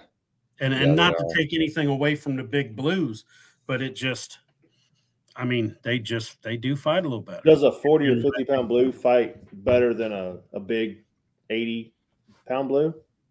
Or is it pound for pound? They're it's, just dogs. It, they just it's, fight. It's funny. It's individual fish basis. It's okay. I've caught me and my buddy was was just talking about this not too long ago uh, I've caught 35 pound fish that fought harder than than some of my biggest fish I've ever caught. They're just they're just a mean, angry fish. I guess they got a bad attitude. I guess they just fight hard. I mean, from the time you hook them till the time you get them out of the boat, throwed back, they they go nuts in the boat. It's like I don't, it's like the fish is crazy. I mean, it's real. It's just he's got his own personality. It's yeah. it's funny, but uh, it's it's true. It's true. You'll get occasional just outright mean fish, and I, I mean you'll swear he's bigger than he is, and, and then you think, well, I'm glad you wasn't a hundred pounder. I'd probably never got you in the boat. He suck. He would have sunk my boat probably. Yeah. So it's. I mean, that's individual fish basis. You so know, you like, spent a lot of time on the Mississippi River. Uh, quite a bit, yeah. What's the what's the craziest thing that you've caught on the Mississippi River, or seen because I, I, there's always the stories about you know the the bull sharks that have made it up there. And... I've never seen nothing like that, uh, but we have caught. Well, uh, one day we were out hybrid fishing of white bass and hybrid fish in the Mississippi, and we caught ten different species of fish in one day, all all on on crankbaits. Right. Um, but I've caught uh, we've caught eel on rod and reel out there. That's yeah. a creepy fish. Yeah, that's that, very that creepy a, fish. Th- those are creepy. Um, uh, I've caught grass carp, buffalo, and Asian carp in the mouth on a crankbait. Huh. So, I mean, the yeah. it's like the gloves are off in, the river. Like right. I don't think there's anything out there that won't actually eat a shad, even even a grass carp or whatever. I mean, I that's the only thing I can think is why they would eat that crankbait. Mm-hmm. And most of the flatheads I catch on the river, I catch on a crankbait, fishing for whites and hybrids. I mean, they they got the same the same haunts. I guess they love the rocks. You know. What's your biggest hybrid? Uh, my biggest hybrid out there personally is 10 and a half. Okay. Um, we have caught, my buddy caught um, a 13 pound pure striper on the Mississippi. Really? Yeah. Huh. Yeah. We catch the occasional pure striper. Wow. It's like a unicorn almost. Yeah. Um, caught smallmouth bass at in in Alton in the Mississippi. Really? Yeah. Huh. First first and, only, first and only smallmouth I ever caught right there. And Huh. I've heard of I've heard of northern pike. I've never caught one, but I heard a couple different different people talk about uh yep, sturgeon. We we catch a lot of sturgeon. Um, but I've I've heard of northern pike. I haven't personally done that one, but walleye. Um, I've caught moon eye, skipjack on crankbaits out there. Um, I mean, just about everything. Hmm. Uh, sucker fish. Paddlefish? Oh yeah. I mean, usually we we don't catch. We have not caught one of them in the mouth, but foul hooked Snagging. them or snagging. You know, we've caught them, Right. and those those are cool on the LiveScope. oh See yeah. That- You see that, big- that big full oh, it's crazy. Yeah, yeah. I mean, it's no mistaking that's what they are. But it's there's so many different fish in the river, and so much of the fishery is is untouched out there. Well, and I'm sure you've probably hooked and lost multiple fish that are bigger than what you got. Yeah, I learned a few valuable lessons the hard way. Um, but that's what makes you a better fisherman. Oh, know? absolutely. Absolutely. We we've we've lost some really big fish. Um, I won't say I've lost a hundred pounder. I don't know I've ever hooked into a hundred pounder. I've lost some some very big fish. Um, I'm confident I've seen one well over a hundred on the LiveScope. Just judging from some of the the 60s to 80s that we've caught, um, what they look like. I've seen some legit fish out there. Huh. Um, tricking them into biting sometimes is tough, but Yeah. That seems like it'd be like reeling in a, in a Volkswagen. it's uh, it's weird. Like I said, again, it's it's individual fish basis. I mean, I caught I caught my 80. I was in the boat by myself that day. I had to net that fish. But from the time now I have the gear for those fish. So by the time that fish hit to the time I put that fish in the boat in the net was about five minutes. And that was me by myself Dang, that's impressive. had I had a, a partner with me, I we could have did it a little quicker. The net job was a little tricky and, and, and getting them into the boat, but but it it's not the gear they have now, like like Bluff City, they got they have such a variety of of heavy gear designed for these hundred pound fish. Honestly, these days, if you set your stuff up right, those hundred pound fish, getting them hooks the hard part. They don't have a chance after that almost. You know, as Mhm. long as you have everything set up right. I mean, So talk Uh, a little bit about that. What is your setup on on that? uh, on mine, I run um, I run primarily um, K9 line. I'm on the K9 pro staff, and they got um they got some K9 cat line. It's it's heavy duty braid. I run a hundred pound braid to uh, 80 pound mono leader, and um, we run did mainly my majority of my use is it's similar to like a Carolina rig. Mhm. Uh, I use a slide weight setup and then uh, uh, just uh, like a three foot. Uh, my leader leader lengths always vary, but but uh, just run a leader mono leader off of that 80 pound and uh, I don't a lot of guys crimp their stuff. I don't. I'm I'm still old school, you know, hand tying everything. Um but it's it's pretty it's really I mean we used to we used to be like a lot more crazy about our stuff really and I've I've went back to the less is more, you know. I don't I don't for the most part run three-way swivels and stuff anymore. Um I do have like a double hook rig that I that I'll tie for drift fishing or something like that. But I mean, I just uh, we run like like Mad Cats. Um, I use some Mad Cats rods, some uh, Rip and Lip HD series rods. I mean, we got a bunch of different rods. The the rods are most, for the most part, they're all quality rods these days. I mean, they all got a heavy blank. The fish aren't going to break them. I mean, the the the the the tangling with catfish TWC rods. I mean, you can't hardly break these rods. I mean, they're just they got it down to a science. They're mm-hmm. designed to handle these heavy fish and it's just and the lines the the braids and stuff i mean they have every all this stuff's down to a science anymore i mean it's it's pretty legit so they have all that stuff you just spoke, talked about a lot of that over at uh, bluff city outdoors oh yeah and, and, yeah, people that are on here if you don't know about bluff city outdoors and you're in the alton area go by there and check out that place i know um, marfel's been trying to get some of the bass fishing gear built up in there but it's uh, it's on its way. It's on its way. We're working yeah. on it, and it's on its way. They got a phenomenal crappie selection, phenomenal catfish selection, and I mean, I don't care if you want to go channel cat fishing uh, to flathead and blue cat, all the way to snagging for spoonbills. They got the setup. They got the lines. They got the rods. I mean, the hooks. They had. They got everything in there. And I mean, now he's got that big archery center in there too. I mean, he's got a lot going on. Yeah, that's pretty. And cool. he's got the best the best crappie selection. I mean, he he's got a phenomenal crappie selection, and I, I love it. I, I don't have a problem going in there and getting the things I need. You know.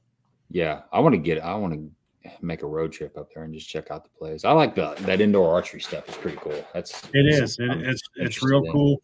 Uh, he's got he's got a lot going on. You know, under the roof of that place. There's I mean, live bait, frozen bait. I mean, they're always. I mean, he's got a big trapping supply. I mean, he's he's catering. He's catering to the outdoorsmen in there. I mean, he's he's got an impressive shop for the area. For and he's sure. got guy. He's got a guide guides or two that could, you know, if somebody wanted to. Yeah, uh, you go in there and go and, and, get set up. He'll he'll get right. you set up with a guy. Yeah, that's awesome. Yeah, yeah. and it. So, uh, um, as far as like, um, if if somebody that's I don't know, maybe just wanting to get into catfishing and stuff, what's um, what kind of price point are they going to expect to spend on on something that's that's decent? I know, not talking top of the line, but you don't want junk either, you know, because you can get a phenomenal catfish rod for a hundred dollars. Okay, okay, that's, I mean, that's very reasonable. Yeah, that's that's very reasonable. The deal is there's a bunch of companies making a quality product, so they're all competing. So the price point's pretty good. Um, I mean, a, a hundred dollar rod, I, I mean, you you can get a heck of a rod for a hundred dollar bill. What about a reel? What's it? What's a good? uh The reel is level reel. Well, bait I cast mean, or spinning rod or spinning reel. I'm I'm all all bait cast. Okay. I mean, to me, performance wise, they're pretty good. And and I'm a I'm a big uh, um, Shimano guy. You know, I like the the Tekota 500s and and 400s. They're they're really good reels. They handle they handle big fish. Um, but I mean the Penns, um, Okumas. I mean he's got there he's got he's got a huge selection of reels in there too. The reels is all in how much money you want to spend. He's mm-hmm. got right. He's got he's got pretty decent hundred dollar reels to to four five hundred dollar reels. Mm-hmm. I mean, it's and and to me, I mean, a hundred dollar rod is a really good really good price for a quality rod to me, but I won't hesitate to put a three hundred dollar reel on that rod just because I know the performance I'm getting. Yeah. I know, I know the guts of that reel is doing the work on that hundred pound fish. Yeah, I mean the rod's got a lot to do with it, but that reel's doing the work. You gotta have a good drag, right? I mean, you gotta have you gotta have a good drag, and like I said, you want you want a good a good braided line, and uh, you know, a, good knots. But like like I said, I'm I'm back to the less is more type of thing, and it, and I've been doing this with with my deer hunting, with other kinds of fishing um, and I've been having great success. You know, kind of backing off instead of having three knots on one line. You know, I got one knot or two knots. You know, or you know, minimize all the the room for error. You know, you know, I don't want I don't want a bunch of spots that can fail. You know, so I, I go back with the less is more. And like on the Carolina rig, you know, I just run a a barrel swivel. So I'll run my main line down to a barrel swivel, but I'll put another barrel swivel. I'll run my main line just straight through one of the eyes. So it, it free floats up my line. And then I'll run, I'll, I'll run different lengths on some. I'll run a six inch little, little loop knot and I'll tie a weight off. That's where I'll tie my weight. So my main line can free float. So that six inch line to, to my weight, that's going to hold me on the bottom and that's going to let my main line come up at six inches max off the bottom. Where I differ is I run different lengths of leaders. So if my fish, if I'm scanning fish and I see these fish and I think, okay, they're two or three feet off the bottom, then I'm going to run a shorter leader line because those fish are close to the bottom. If they're five feet off the bottom, I'm going to extend the length of my leader line so it drifts up higher. So my weight will hold hold it down at the barrel swivel, but then the current's going to pull my bait up in the air. Mm. So mm-hmm. you run that longer leader, it'll pull that bait three or four feet up off the bottom. So changing um, changing different leader lengths makes a big difference too. I mean, if if your fish are five foot off the bottom and you got a short leader and, and you're fishing a foot off the bottom, you're out of the strike zone.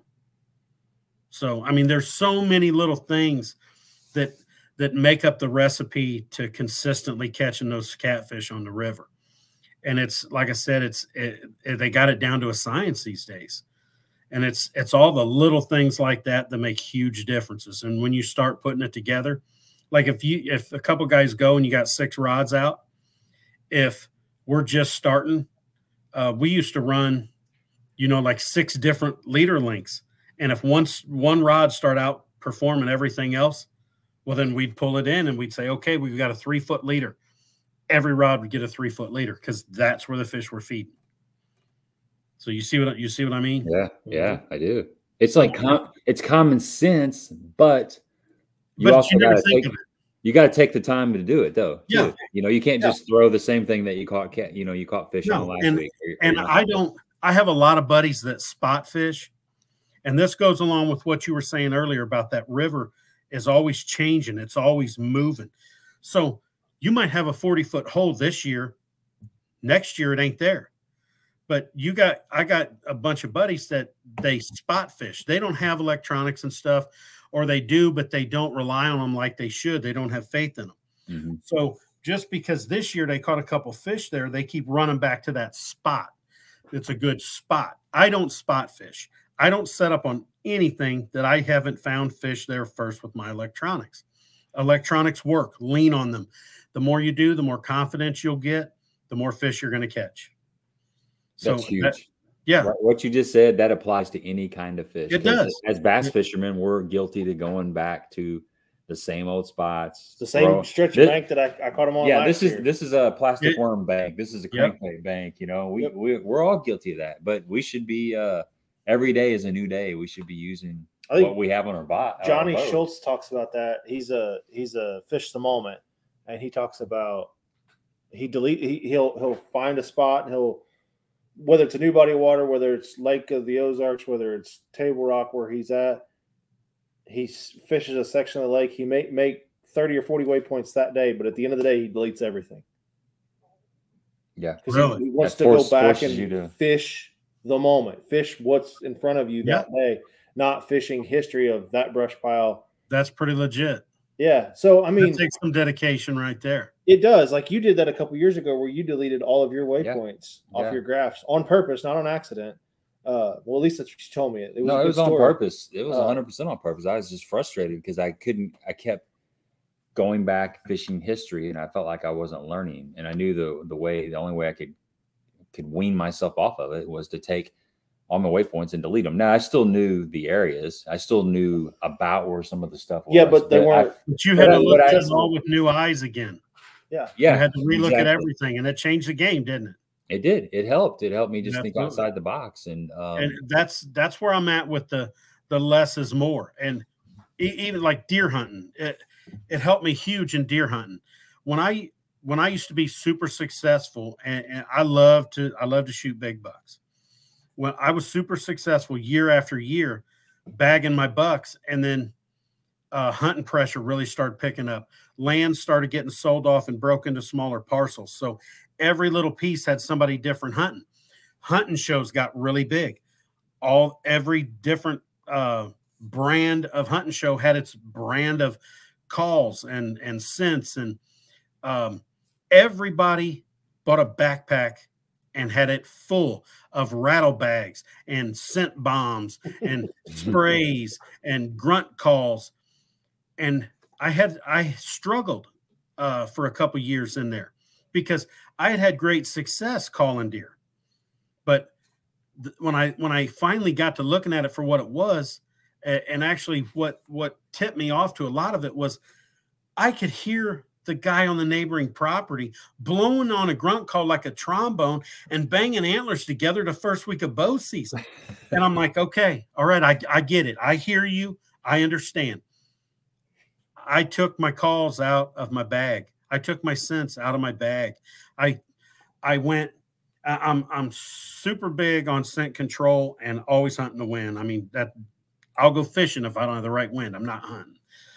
So i thought i'm not going to alert the deer and let them hunt me anymore i'm going to hunt the deer when you're calling or you got scents out that deer's coming in downwind uh, a mature buck he's going to try to get downwind to you every time I don't want that deer hunting me. I want the element of surprise. So I'm going to scout harder. I'm going to pay more attention to the properties I'm hunting, figure out how the deer work the property I'm hunting, because consistently, year after year, they'll work those properties the same because of the terrain, the lay of the land, the food source, the water source. It's in their DNA to run that property that way until we do something to force them to change. So I could kill a big buck running this ridge this year and three years later i could kill a big buck doing the same thing even even three years in a row uh, i just am am uh, the fourth year in a row of the stand i shot my buck out of the other day fourth year in a row same setup same stand shot shot a big buck out of it doing the same thing. Because the way the terrain is and the way those deer work that land i didn't call any of them i didn't use any sense. I played the wind and i properly placed my stand. So less is more because I'm not doing any of that stuff anymore. I backed off all that.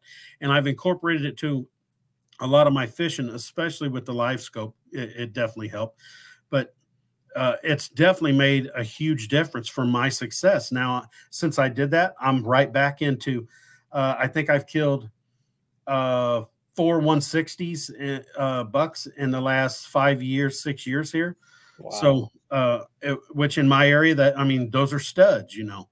So, and I, that's I don't it. care where you're at in the country, folks. Those are studs. I just I pay attention to how the deer work in the property, and I'm as low impact as I can be. And I only hunt when the wind is right, when the conditions are the best. I've only been out six times this year, and I mean, I I got a good one down. You know, um, less is more. I'm huge on that. Less is more. yeah. That makes sense. You're like you said, um, why get out there and spread your sin all over the woods when it's not the right day? You're just You can yeah, it- it's kind of like uh it's kind of like hooking fish in, in practice when you're pre-fishing for a tournament or or even letting the fish see your bait. Right. You know, that's Mhm. that's one of the advantage of using your electronics. You can see the fish. You don't even have to fish them because Yep. there's a lot of guys that if you're throwing a big glide bait with no hooks, that fish is only going to look at that bait once a week or something. Even though it doesn't have Yeah. any hooks, it doesn't matter. He saw your bait. Well, You're you're and and this isn't we can we can even go a step farther. This isn't just LiveScope eras.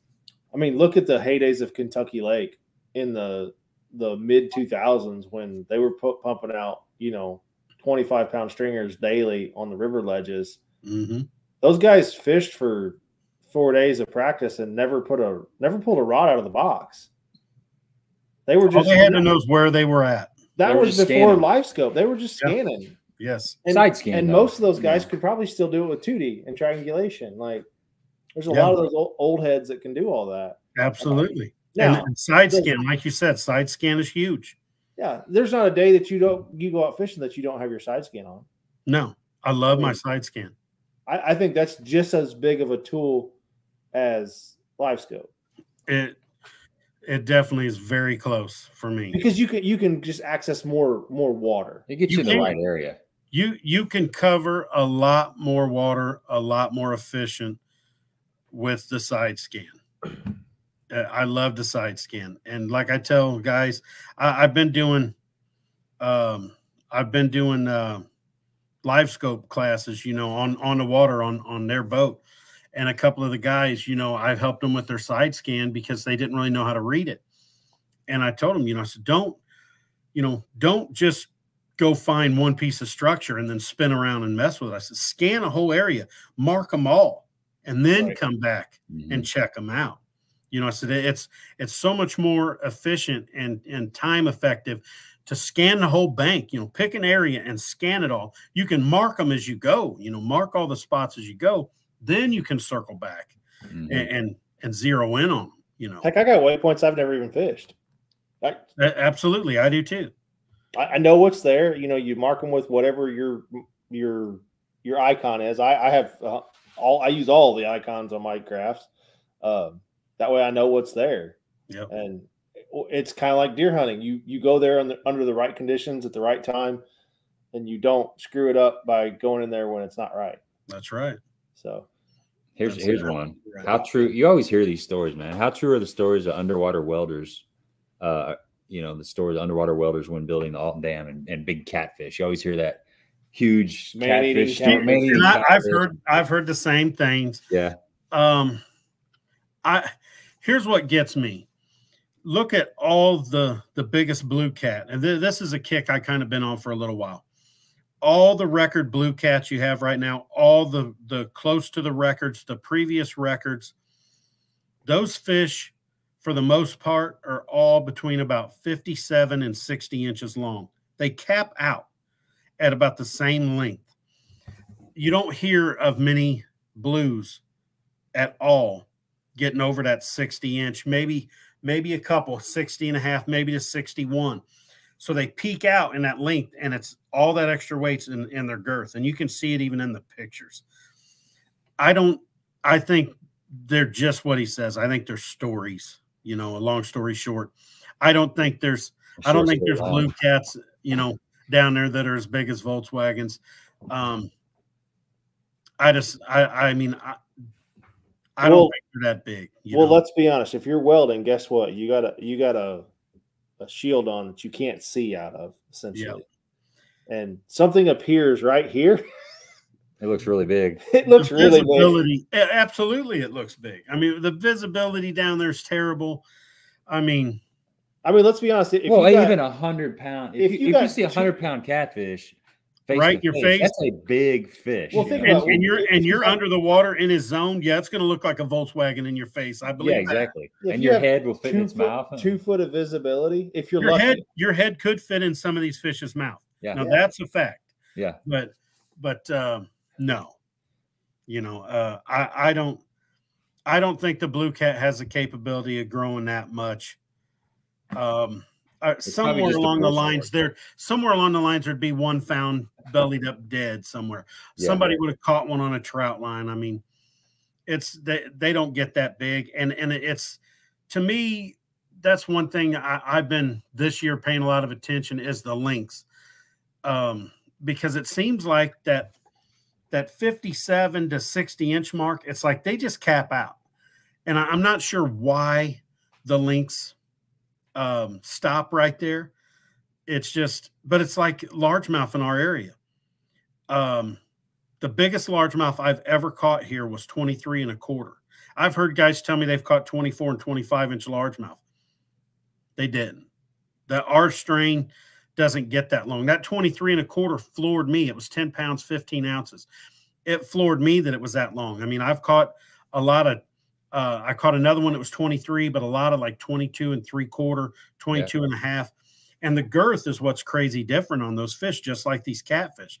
I'm not sure why the link caps out, um, but it does. I mean, you ever caught a 24 inch, a legit 24 inch largemouth No. measured the right way? No, uh, my my PB and Stephanie was on- Stephanie had a question a while ago, but talking about have, what's your PB, PB without, with- live without scope. LiveScope. All of my PBs are without yeah live all my scope. all my PBs are without LiveScope, but my PB bass was like eight four uh, out of cedar, and it was That's, uh, 23, 23 inches, I think, or 23. When, and a when half. did you catch that fish? That was in the nineties, early What, nineties, what time of year? in the winter, uh, March, late winter, early Late winter, early March. spring. Yeah. Um, but 23 and a half, that's and that's long. Mhm. It was a good fish. That's very long, Yeah. very long. Um, Um, my my PB it might have been 22 and a half. I can't remember. my PB crappie, not on a LiveScope. My PB blue cat was with a LiveScope. My PB flathead, no LiveScope. My PB channel cat, no LiveScope. My PB largemouth, no LiveScope. Yep. Uh, my PB hybrid, no LiveScope. Yeah. Well, Same here. I, I- could go I through will- I could go through them all too. I will say that Southern Illinois, the the fisheries that that I fish have steadily gotten worse over the years. Not, and it's not because of LiveScope. It's just fishing pressure in general. Fishing pressure in general. Oh, it's gotten tougher. Well, sure. and, and A- A that's- Palomar knot is one of my favorite knots on the river. okay. now, do you when you you said you have, I, and I'm I'm assuming, but you know what happens when you assume, you're not making a braid to mono connection. You're using a swivel or I got a barrel swivel. I run my braid to the barrel swivel and then my mono off of the same barrel swivel. I got you, I got you. Yep.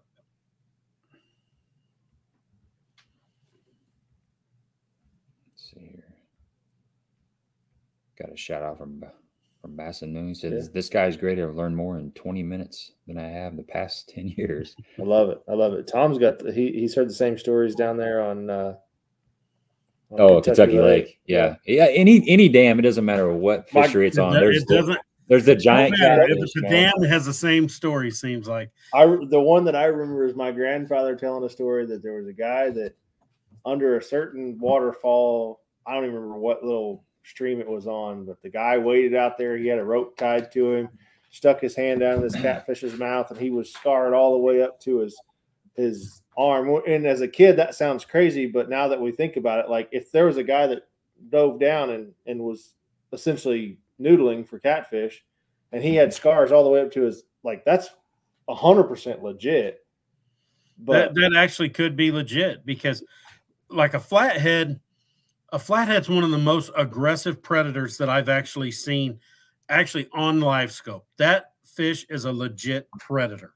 I mean, when when he is ready to eat, he means business and he's going to attack. I mean, whatever he can fit in his mouth. right, So I, I know guys that that uh, noodle, and the guy, one of the one of the guys had said, he said, you know, they knew they had this big flathead in the in the log, and he soon as his hand got by his mouth, as they try to go in the mouth and out the gill, and then they they got the fish, he can't get away. Soon as his hand got by the mouth, he said the fish actually engulfed his hand, just sucked his like his arm up to the to the elbow. You know, like it it didn't know it wasn't something to eat. It ate it or tried to. So, I mean, God, that'd be scary. yeah, I mean, um, and, and I I had a buddy. for those that noodle, you gotta you gotta have a couple screws loose. I apologize. You apologize. too. I'm I'm not I ain't I'm not doing it. I'm I not mean, sticking my hand in a log. that- Uh-uh. No, there's too many for me. snapping turtles and alligator snapping turtles, and you gonna come back. I, I like my boat and a rod and reel. That's how I'm going to catch stuff. But uh, I, I was on, I was doing a LiveScope trip uh, today for for a guy today, and and um, he asked me if I ever use minnows, and I said back in the day, you know, when I first started crappie fishing and stuff, we used minnows, and now it's just a personal preference. I prefer to try to outsmart them with with the jig Yeah. but I told them like right now, um, you you could use what we call like a naked minnow, uh, just just a regular you know unpainted lead head, a sixteenth or eighth ounce lead head, and and just a minnow hooked you know through the bottom jaw out the top and drop that in and you could you could probably outfish the jigs right now but knowing that i would rather go to the lake and catch a handful of fish fishing them my way than just dropping that minnow in there but that that's the difference of i call them like meat hunters like those guys are meat hunting they're looking to take a bag home you know and and i got nothing against that i have nothing against minnows or live bait of any sort it's just a personal preference I have that I want to outsmart them with the jig. Like, I mean, I'm throwing them back anyways most of the time. So that's just that's the game I want to play, you know. But there's times when it's very effective, you know, and and you know, you you can definitely get on the fish, but I I'd rather I'd rather struggle to catch them with my jig, I guess. Yeah. Um, than, than use the minnow. But Yeah, again, was- it's personal preference. I was eating lunch with a buddy of mine, a high school buddy of mine that we used to we used to go fishing together all the time and he he's he doesn't fish hardly at all. I mean, he might go once a year. Um, but he had sent me a text. He's like, "Hey, where can I get live bait at?" Because a buddy of his was coming in town. They wanted to go fishing, and I only knew of two places in in Jackson. I didn't know of any place in Cape, and so we ate lunch, and um, we got to talking and I said, man, I'm, I'm sorry. I didn't really have any suggestions on someplace local to you to, to pick up bait. I said, cause I, I don't use live bait. I haven't used live bait. And for, I mean, I mainly bass fish and gosh, it's been, I don't know when it's been. I think, I think actually the last time I bought minnows was about five years ago. Cause my sister and her boyfriend and his kids were coming into town for Christmas and he wanted me to take them crappie fishing in the pond behind my house.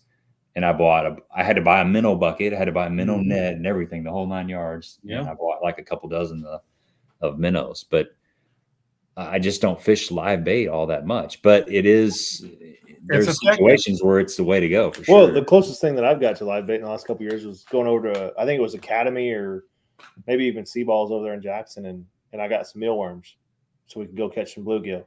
And it was it was for my son. He was probably five or six at the time, and you know what? A, a bucket of meal or a, a, a little jar of mealworms and a and a float is is heaven for a five or six. Oh, year old. absolutely, absolutely. I, I like I said, I have nothing against no. the, the live bait and live minnows and stuff. It's just a personal preference. I just I prefer to try to do it, you know, my way. I guess you know, Mhm. and, and then at the end of the do a day, bow versus a rifle or a crossbow, yeah. and At, other at the end to- of the day, when you do it your way and you're successful, I mean, you feel really good about what you've done. I mean, uh, it, it's it, it's rewarding. You know, it's a, a self victory to me. You know, Yeah. like every day, and I don't care who I have in the boat with me. Uh, everybody's so competitive. If you're in my boat, we're not having a competition, uh, at least not against me and you. It's us against the fish. And my goal is we're going to beat them fish and put them in the boat. We're not going to give up till we do. I don't care. We work together. I don't care who catches them. We're gonna we're against the fish, not against each other right. Uh, uh, it, it it just it's not too many people. It's all about a competition. At the end of the day, I don't want my buddies talking about, man, you really outfished me today. I'm like, no, I didn't. I outfished the fish, you know, Yeah. because that's Right. that's what it's all about. Well, it's because we live in a we live in this social media world where we have to be judged and compared to to everything. We had I had this conversation with a guy this past weekend about I I showed you the deer that my buddy killed, and one of the guys in camp was was kind of dogging him a little bit about killing that deer. I'm like, dude, he's happy about it. Who cares? Like he's the one that chose to to draw back on that deer and shoot that deer, not not you. So be happy, congratulate him that he he made a quick, clean, ethical kill yeah, and he was happy with what he's got, and he's got food on the table that's and, right. and a trophy to put on the wall. Like, he's happy with it. Let him be happy with it. Yeah, it wasn't a 180 inch deer, but it was it was what he wanted that day. So, That is a that conversation's been coming up a lot. and I hate that conversation. I If do you too. wanna Go out and kill a spike buck. You bought It's the your tag. tag. Yes. You Yep. spent the time. Right. You're going to take it to the processor, or you're going to process it yourself. You're going to put in the time and the work for it. I don't care what you do with it, as long as you don't kick it out of the back of the truck on the side of the highway. I don't care. I don't either. There, there was a funny meme that I seen, and it it hit home big time. They had a tree stand in the tree with a skeleton in the tree. And it said, Me waiting on a buck that meets everybody else's standards. Yep, and I'm I like, saw "Man, that it- same one. that it couldn't have got no more accurate than that. Yep. And that's that's what's crazy. That's where we've gotten. Like you said, if it's a trophy to you or it puts a smile on your face, if it makes you happy, take it. You're hunting for you. It's your time. It's your tag. Hunt for you. And and that's where that's how it should be. And and then you got guys that will kill they'll kill a deer. Uh, it might be a small buck, whatever. And then they feel like in their posts they got to justify well i haven't saw nothing and i needed some meat and it's meat in the freezer no congratulations on killing that deer you know good Right. job i don't care what the antlers are on there i choose to trophy hunt for me i don't care what the next guy does you know? Right. i mean hunt for you and what makes you happy is what you put your tag on. You bought a tag just like the next guy down the street That's from you did. So I mean, the, the the best kill that I've I've had, the two best hunts in the woods that I've ever had, I didn't I never pulled the trigger, yep. And and one of them nothing died that day. yep. So one of them was with my dad, and I got to call turkeys in for my dad to about three feet, oh and nobody had a shot at three feet, which is insane. uh, He should have just grabbed her. I know, right? Like. Mhm. But if you're if you're a turkey hunter or if anybody that's around you's been a turkey hunter at three feet, that's pretty awesome and insane, right? Like absolutely and hear them coming up the ridge and gobbling right on the other side of the ridge, and it just gets your hair standing up. And the, the other one happened two weeks ago with my son killing his first deer. So Yeah. yeah that's awesome Like, and and I didn't it, it hit home with him. So I'll tell you the story. Had a had a doe come out, had a little buck come out and chase, and I the he had a split second to try to shoot the buck and wasn't everything didn't line up. I don't think a, a seasoned hunter like myself or yourself would have been able to make the shot that quick. Right. Um, they chased the, the deer out to about 150 yards, and we haven't practiced that far. We've practiced at 50 to 100, like, Yep. and that's where we're comfortable at. And uh, I wouldn't let him take the shot, and the the the buck had ran off, and he he had crosshairs on the buck, and I, I just I told him I said no, like we're not taking that shot. It's not an ethical shot. Trying to teach him the right things, right? absolutely Uh, now, if you if we practice at 150 yards and we were driving tacks at 150 yards, I would let you take that shot every day of the week. Yep. But not tonight. And uh, so the buck ran off, and I was like, "So you saw the buck, you saw the doe, like." Or do you want to hold out for a buck, bud? And he's like, absolutely not, Dad. I want to kill what the what the first thing that walks out. I'm like, that's what it's about. He just wants that's to have it he just wants to That's it. enjoy the hunt Mhm. and the the harvest of an animal. yep Uh, and when when that deer walked out, he made an absolute perfect shot. I couldn't ask That's for a better shot. Uh, but he put the time in. He practiced the summer with with a 22, and then we went out with the new rifle, and you know he went through the whole steps of of how this this process works, and then he got to see. He actually got the blood trail of deer because dear old dad can't blood trail a deer. Uh, so uh, I'm colorblind, so oh that that makes a big difference makes it real tough to to Yeah, blood trail one in the rain. So oh Uh, man fortunately, I had my one of my best friends there with me that uh, he was able to help us help us get it, get her out and and make the make the good quick recovery. But I hear I because I I've we found the blo- or Keegan found the blood up top. My son did, and uh, I was like, well, I'm, I'll stand here. Like you guys go down below the hill. Like I can't help you out. Like I'm just stumbling around just causing issues more than anything. And uh, I hear him down in the woods, like here's here's blood, here's blood, here's blood, here's blood. And That's at that awesome. time, I see my buddy, and he looked up and he kind of shook his head. He already knew, he already saw the deer where it went, but he let Keegan follow the blood trail all the way to the deer. So that's awesome it was, it was. uh, You can see the smile on my face. I was, I was a. I was oh yeah those, those moments are priceless Yeah, He'll remember that one before any video game or any, you know, yep any movie. that might have well might watched. just well been a 200 incher Yep. i Yep. mean it's yeah i love that That's good stuff.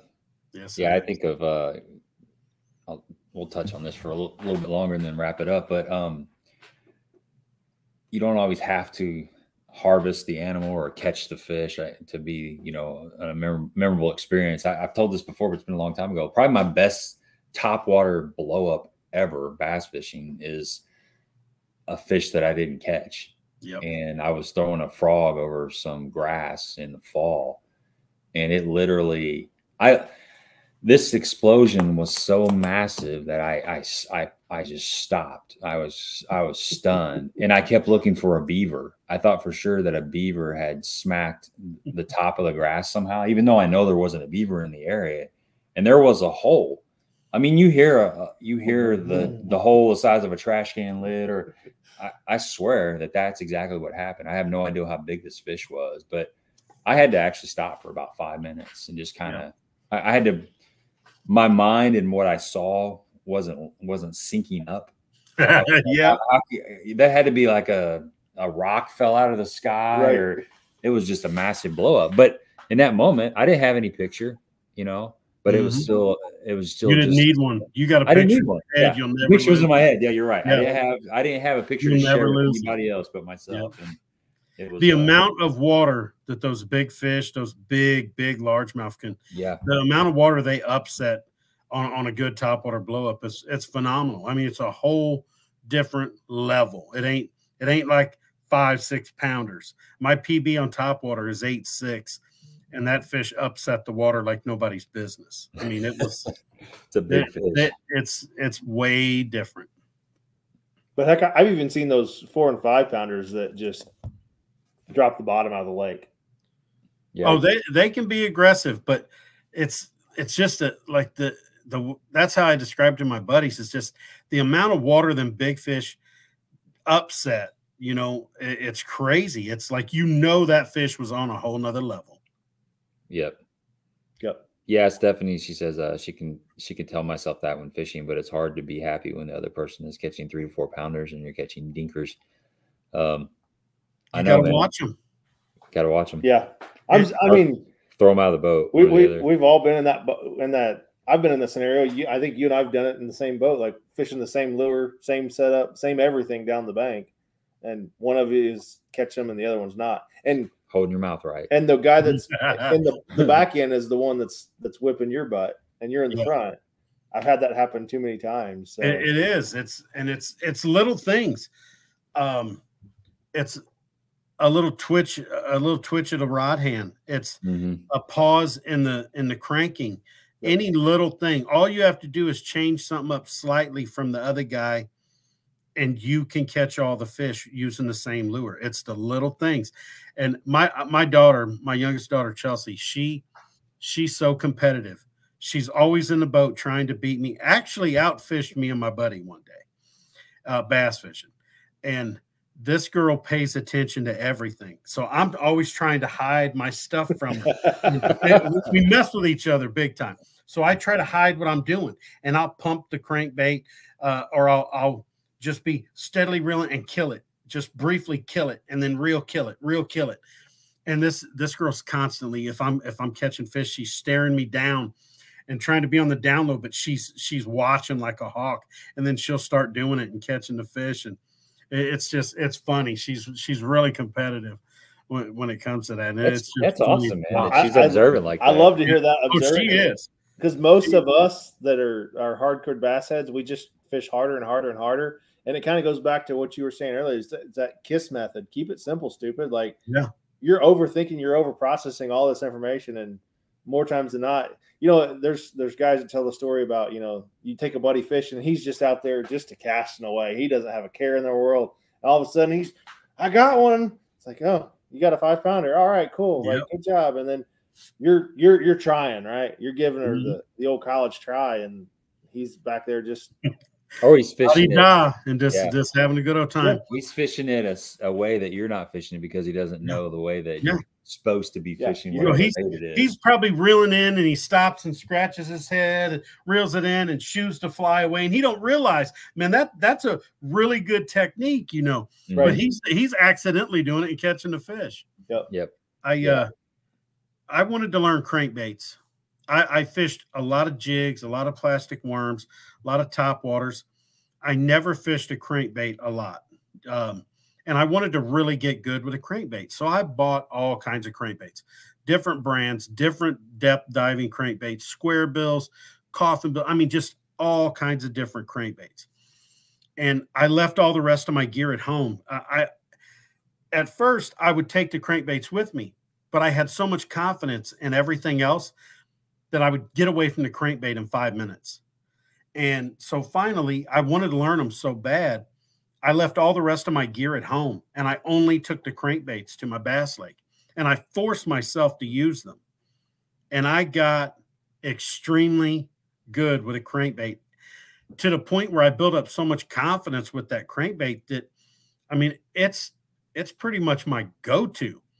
Hmm. And uh I, I had a guy it actually was my boss at work, and him and a buddy of his was fishing the same lake that I fished regular, where most all my big bass came from. And they they would fish it all day and they would catch, you know, two, three, four fish. When I would be on it half the day, the same day they were, and catch 25, 30, 40 fish. So they would question me all the time, like, you're not really fishing that lake. You ain't really catching all them. So I would take pictures on my iPhone of every fish. It time stamps them, it dates them. So I, I caught this one at 1012 and this one at 1018 and this one at 1037. So I end up buying a boat off of him. And he said, okay. He said, I'm going to cut you a deal on the boat, but you're throwing a fishing trip in to, to that lake in with the deal. So I said, I'll take you fishing. So we're at work one day, working 12 hour shifts. It's in the summer. It's 100 degrees out.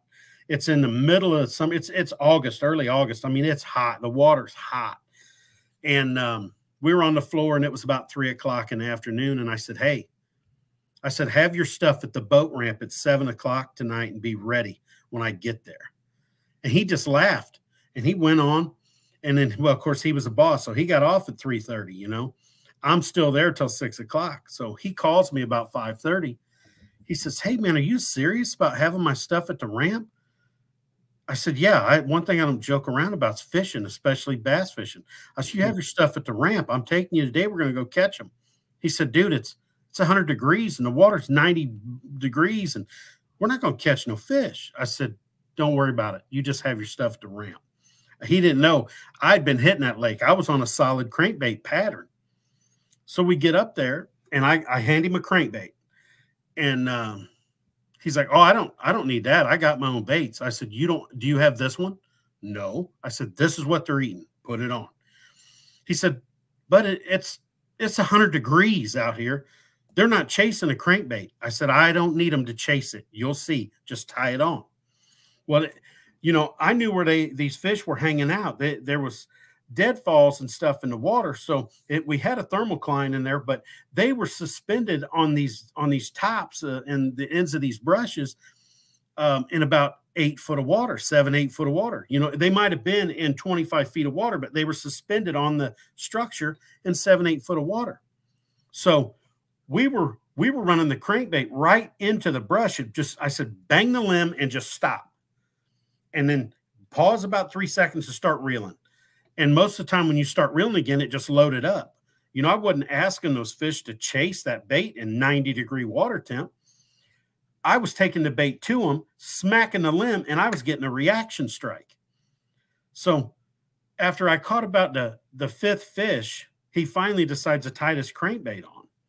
So there's one other boat on the lake, and we pull up on one of my favorite points. It's got a big deadfall right off of it. And the end of it is that perfect zone where these fish are hanging out. And this is all pre LiveScope. So we pull up. I see the guy jig fishing the point. He's pitching at the bank.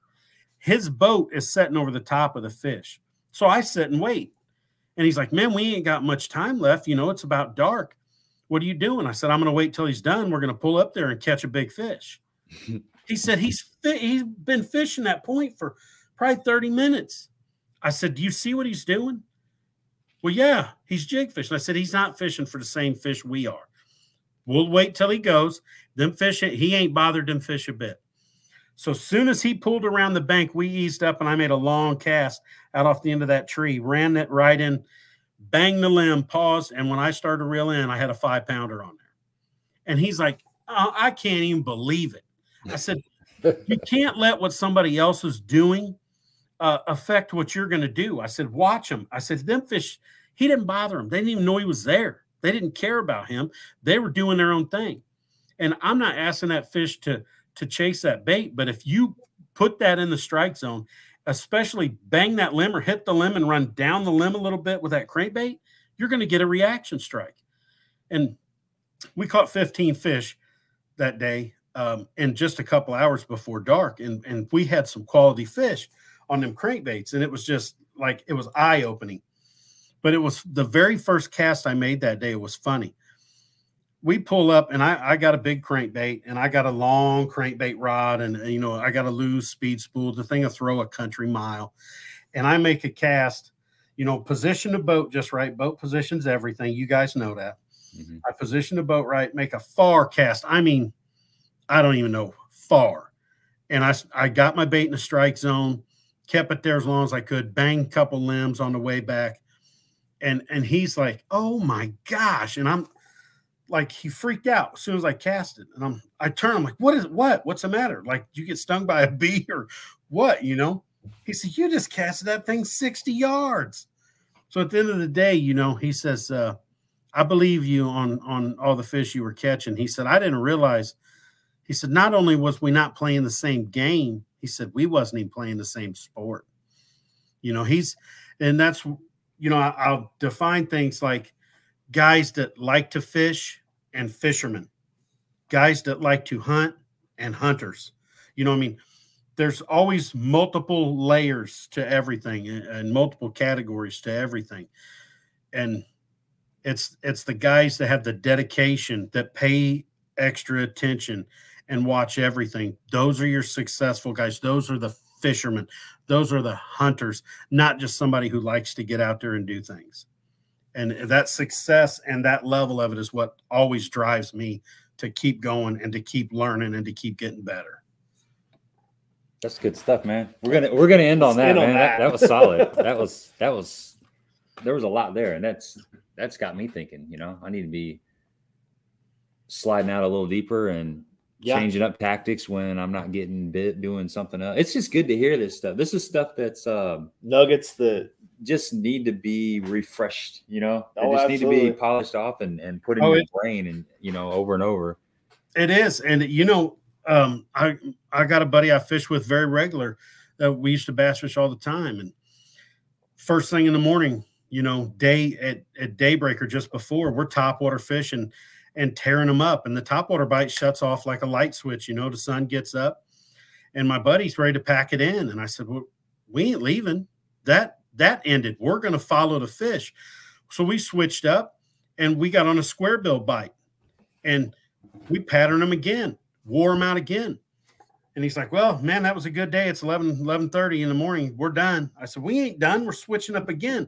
We're just the fish. They didn't quit. They just, they just moved out a little bit and we we pulled out with some big 10 inch worms and fished fished uh, some deeper brush in the mid you know 12 15 foot range and wore them out again. Three different legit tactics and patterns we put on those fish in a half day of fishing. Right. when when a lot of guys would have gave it up you know thought oh the bite's done you know? It ain't done well, they went to the they go to the lake with a preconceived notion where they're they're going to catch them on the top water. Yeah, and then I don't know what I'm going to do after that, but we'll figure it out maybe, or if yeah. not, we'll just go to the house. You know, Absolutely. that's what you said. The difference between a, a, a guy that likes to fish and and a true fisherman, guy mm-hmm. likes to hunt, and a true hunter. That's right.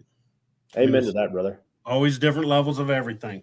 That's right. That's right. Yeah, hey, thanks for having me on. I appreciate it. It was a good time. Yeah, it was yeah. it was awesome hanging out with you. Um, any closing thoughts or any shout outs or anything thing like that?